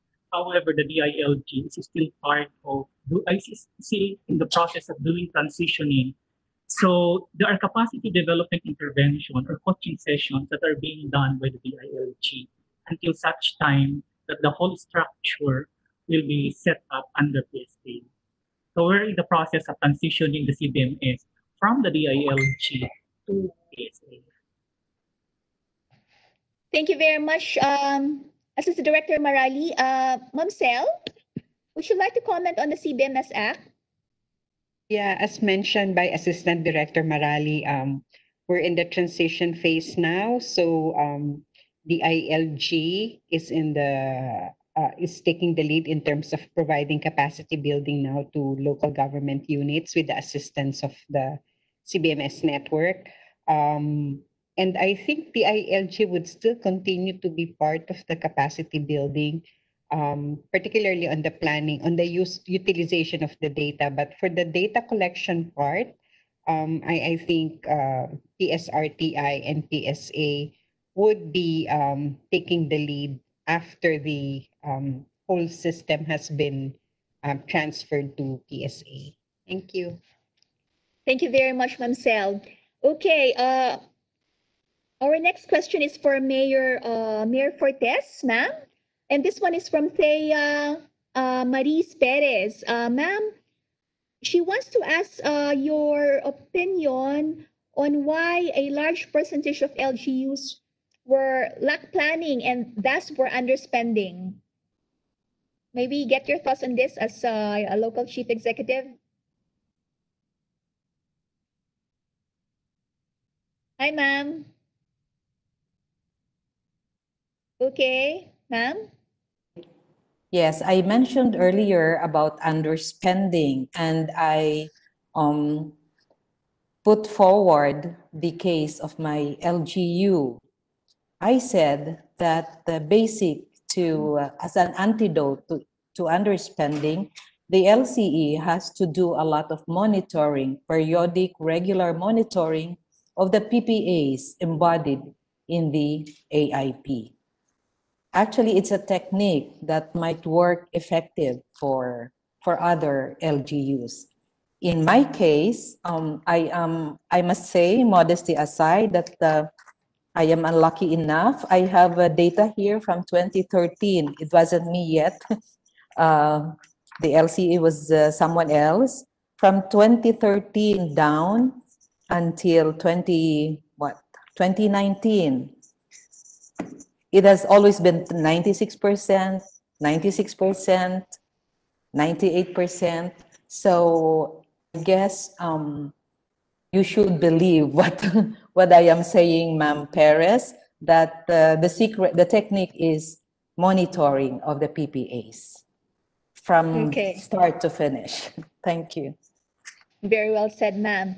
Okay, our next question is from uh, Executive Director uh, Merwin Salazar of the Senate Economic Planning Office.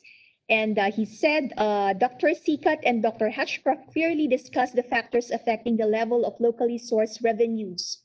What is your take on the idea that we completely take away from LGUs designing and passing local legislation on LSRs? Instead, bring them back to the central government in terms of designing and passing tax legislation and make LGUs just collectors of taxes.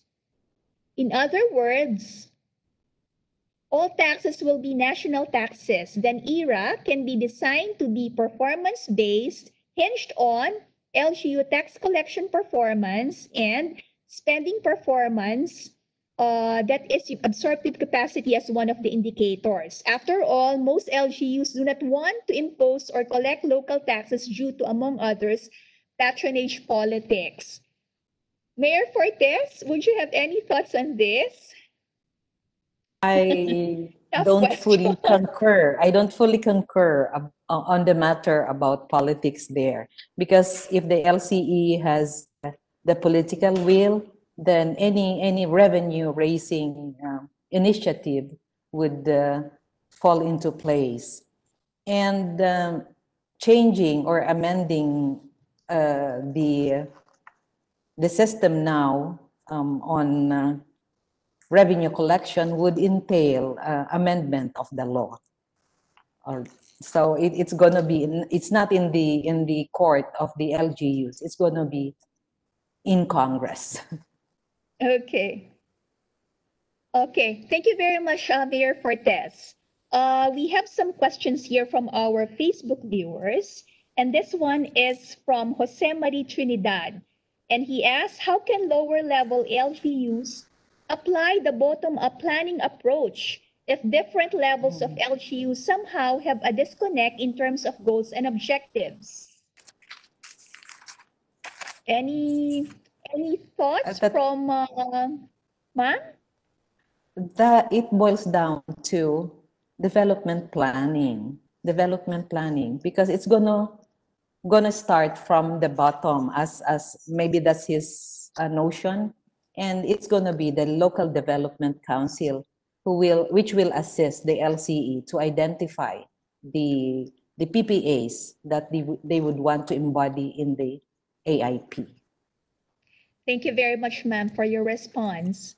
Okay, uh, we have, um, okay, hold on as I am reviewing the questions, just in case we, uh, we missed, uh, okay. Um, Justine, this is for you. And um, this is from Corinne Canlas. Uh, and he's, she's asking if the study look into the in, income class of municipalities and the way they allocate their resources. Justine? Yes. Okay. Thank you for that question, Ms. Canlas. Again, I'm assuming she's from the, the one from the World Bank. Um, in any case, we did not look at how um, municipalities allocated their resources by income class. Um, because what we looked at actually was we were able to classify the what's this the fiscal gaps by income class. So that's what we focused on because we were focusing on income uh, um, on fiscal gaps. We did not look at the expenditures. But another discussion paper of mine um, two years ago i think uh, yeah 2018 i think Okay. tackled the the distribution of expenditures by income class so thank you Okay. Uh-huh. Uh, and this one is from Celia Floor again for you, Justine. Uh, gender analysis tool used for their planning. Did you look did you look into this? Whether they use some tool which is uh, related to uh, an- analyzing a gender equality? Have you seen this in, in, in your study? Uh, no, we did not get to look at that, unfortunately. We just looked at their what their planning processes were and we asked them questions. So I'm not sure if it came out, but um, no, we did not ask about this. Thank you. Okay. Thank you very much. And uh, huh? Uh, Mark Gamboa, no, we haven't asked the question of Mark Gamboa. And this is actually our um, our um, last question. Okay, uh, quite lengthy. Mark Gamboa from the faculty of uh, faculty member of UP uh, Diliman School of Urban and Regional Planning. First, okay, she has he has several questions. What are your recommendations to address the challenge of harmonizing all the other sectoral and thematic plans? Uh, the ILG's count was at 33, while our count was at around 40, 45 to 50 plans that are being required from the LGUs with the CDP. Okay, um, what was the linkage between CDP, LDIP, AIP, and the virus sectoral? Uh, was there a linkage between these uh, different plans? Likewise, was the CDP linked to the CLUP? Mhm. And uh, the CLUP, okay, where am I? The CLUP process follows a different set of guidelines from DHSUD. This forms part of the entire local development planning framework. Perhaps uh, you can answer this part of this uh, these questions first before we go to the rest. Uh, Doc, Ms. Mayor Fortes, would you have any thoughts on these Yes, questions? they are, yes, basic is the AIP and they are, they are vertically, they are vertically connected. connected. Yeah, they are vertically connected. So they, re- they, they are related to one another. Yes. Okay. Justine, would you have any thoughts before we go to the rest of the questions?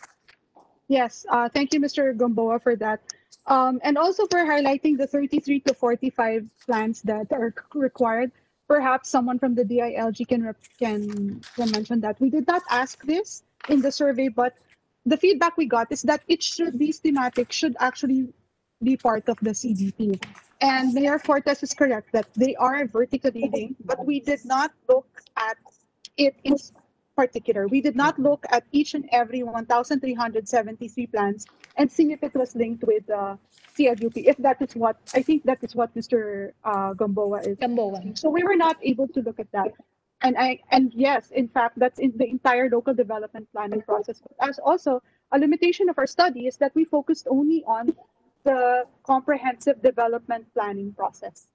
Uh, as I mentioned also in my earlier presentation. So that is what we asked lengthily um, about in our survey. So thank you. Thank you very much. Okay. Um, follow up. Mr. Villacorte, please. Yes, uh, I'd like to throw in a few uh, points uh, regarding uh, the long question.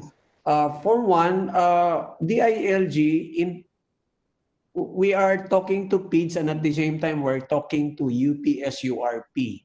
Okay, so what we are talking to UPSURP is the notion that uh, local development planning should already be area-based meaning it should already be uh, in the areas where the plans are needed.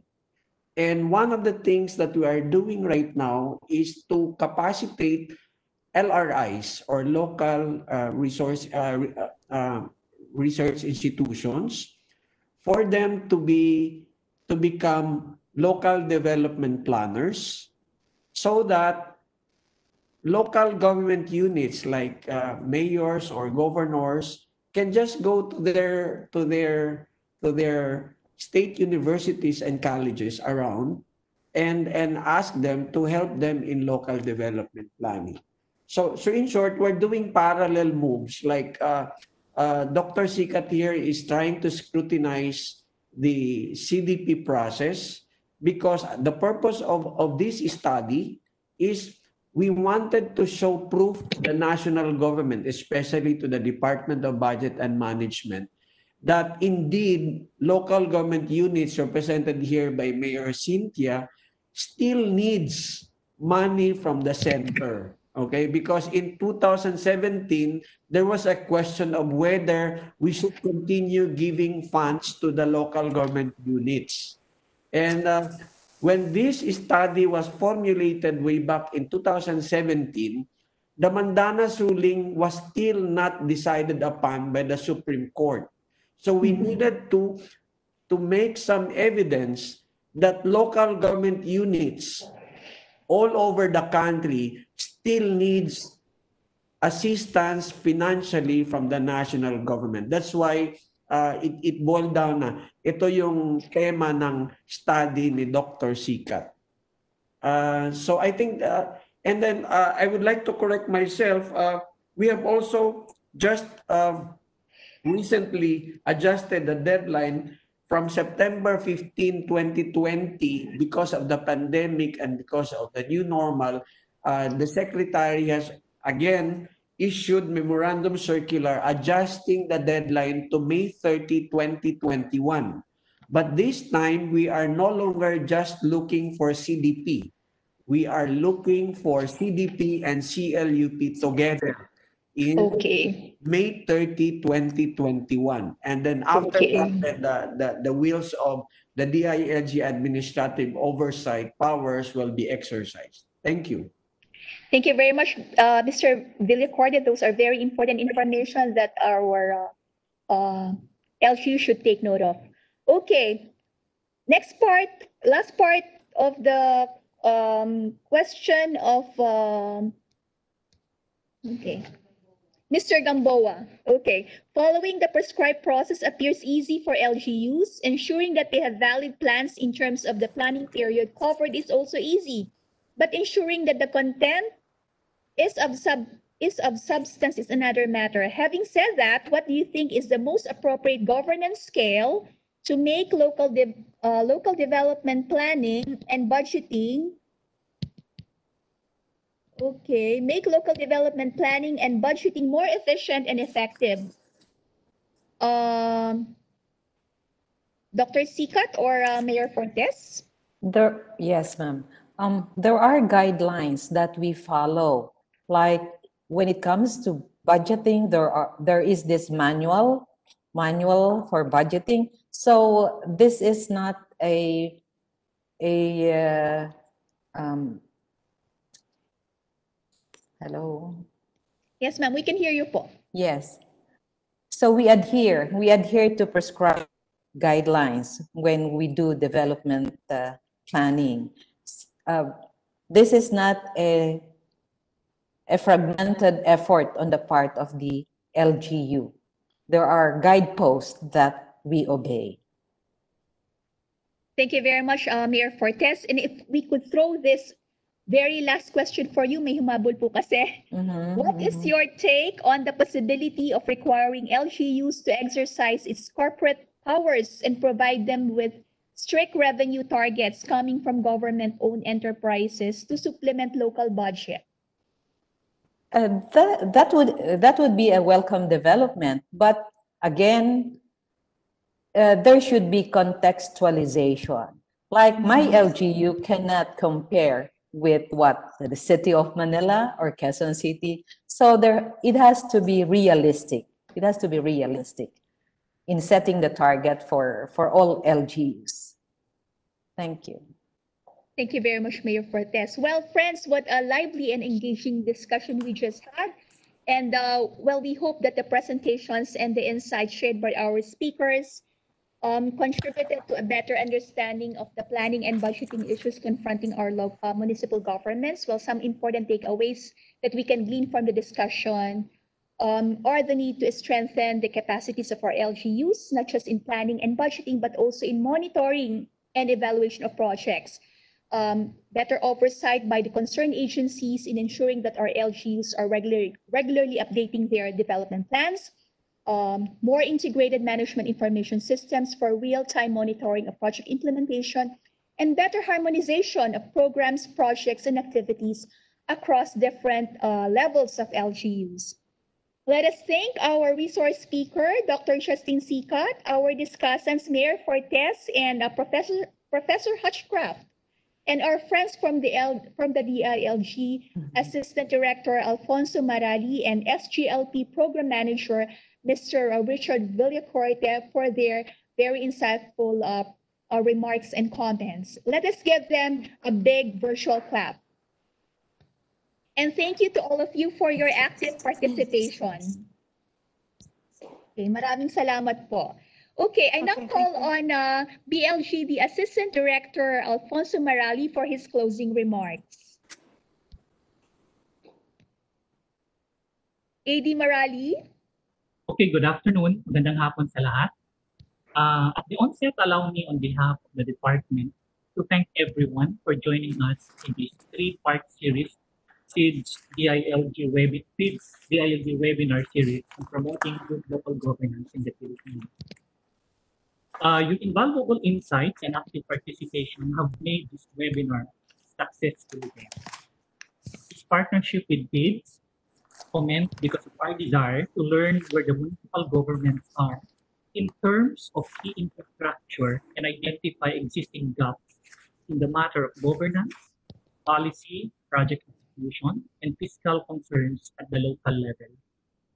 We thought that this endeavor might be the first step in establishing a baseline of data of key municipal infrastructure projects and governance practices, especially in the areas of budgeting and development planning.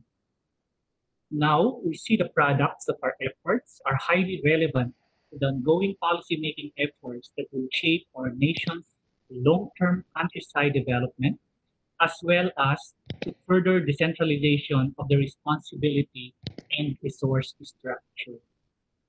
Uh, the DILG strongly supports the findings and key recommendations of the study as we have discussed this afternoon.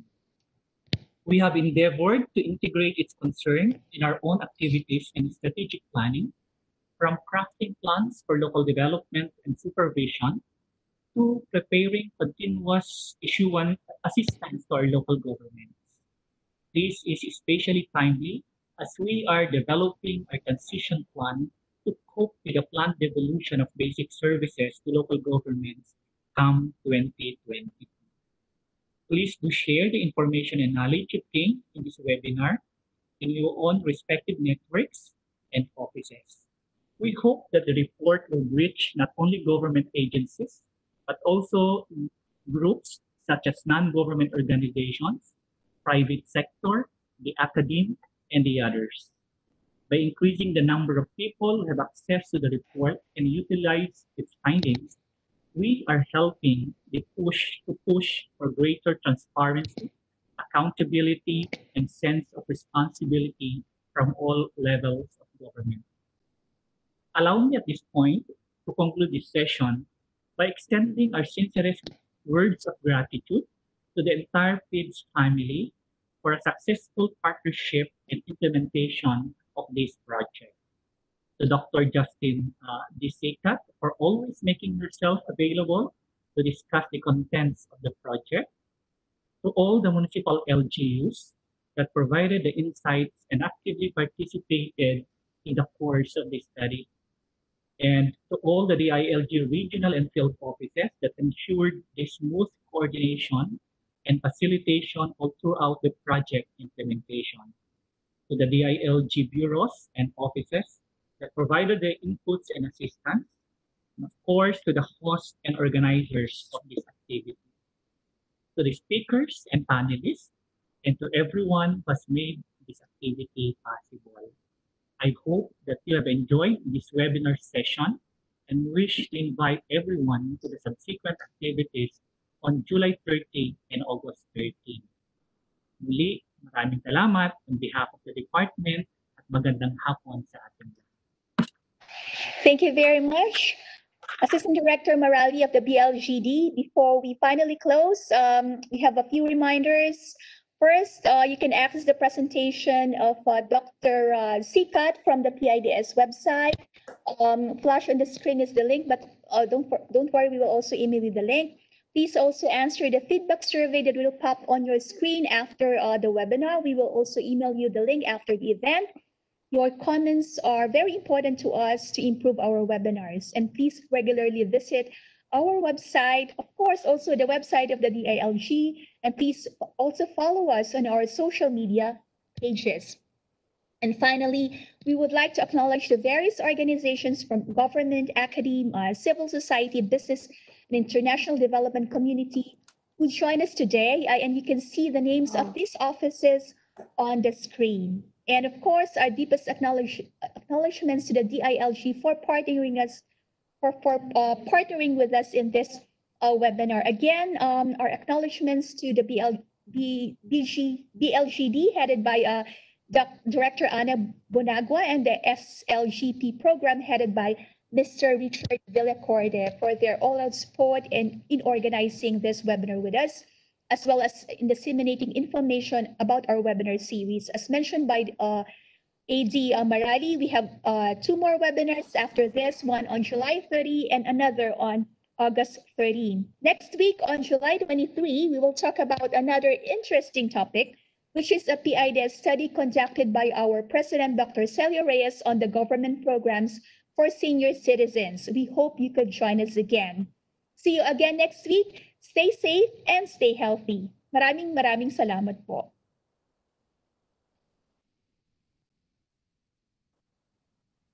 RID. Thank you to Thank you Professor very much. Thank you very much, Professor Hutchcroft, Mayor Fortes. Thanks to all salamat. Thank you. Maraming maraming salamat. Thanks for inviting me to this forum section. Thank Thank you. you. Thank you very much, AD Barali and Mr. Villacorte. Marami pong salamat. Bye.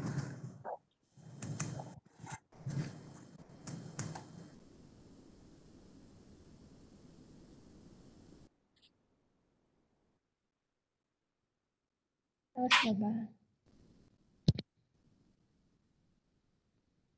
Tapos na ba?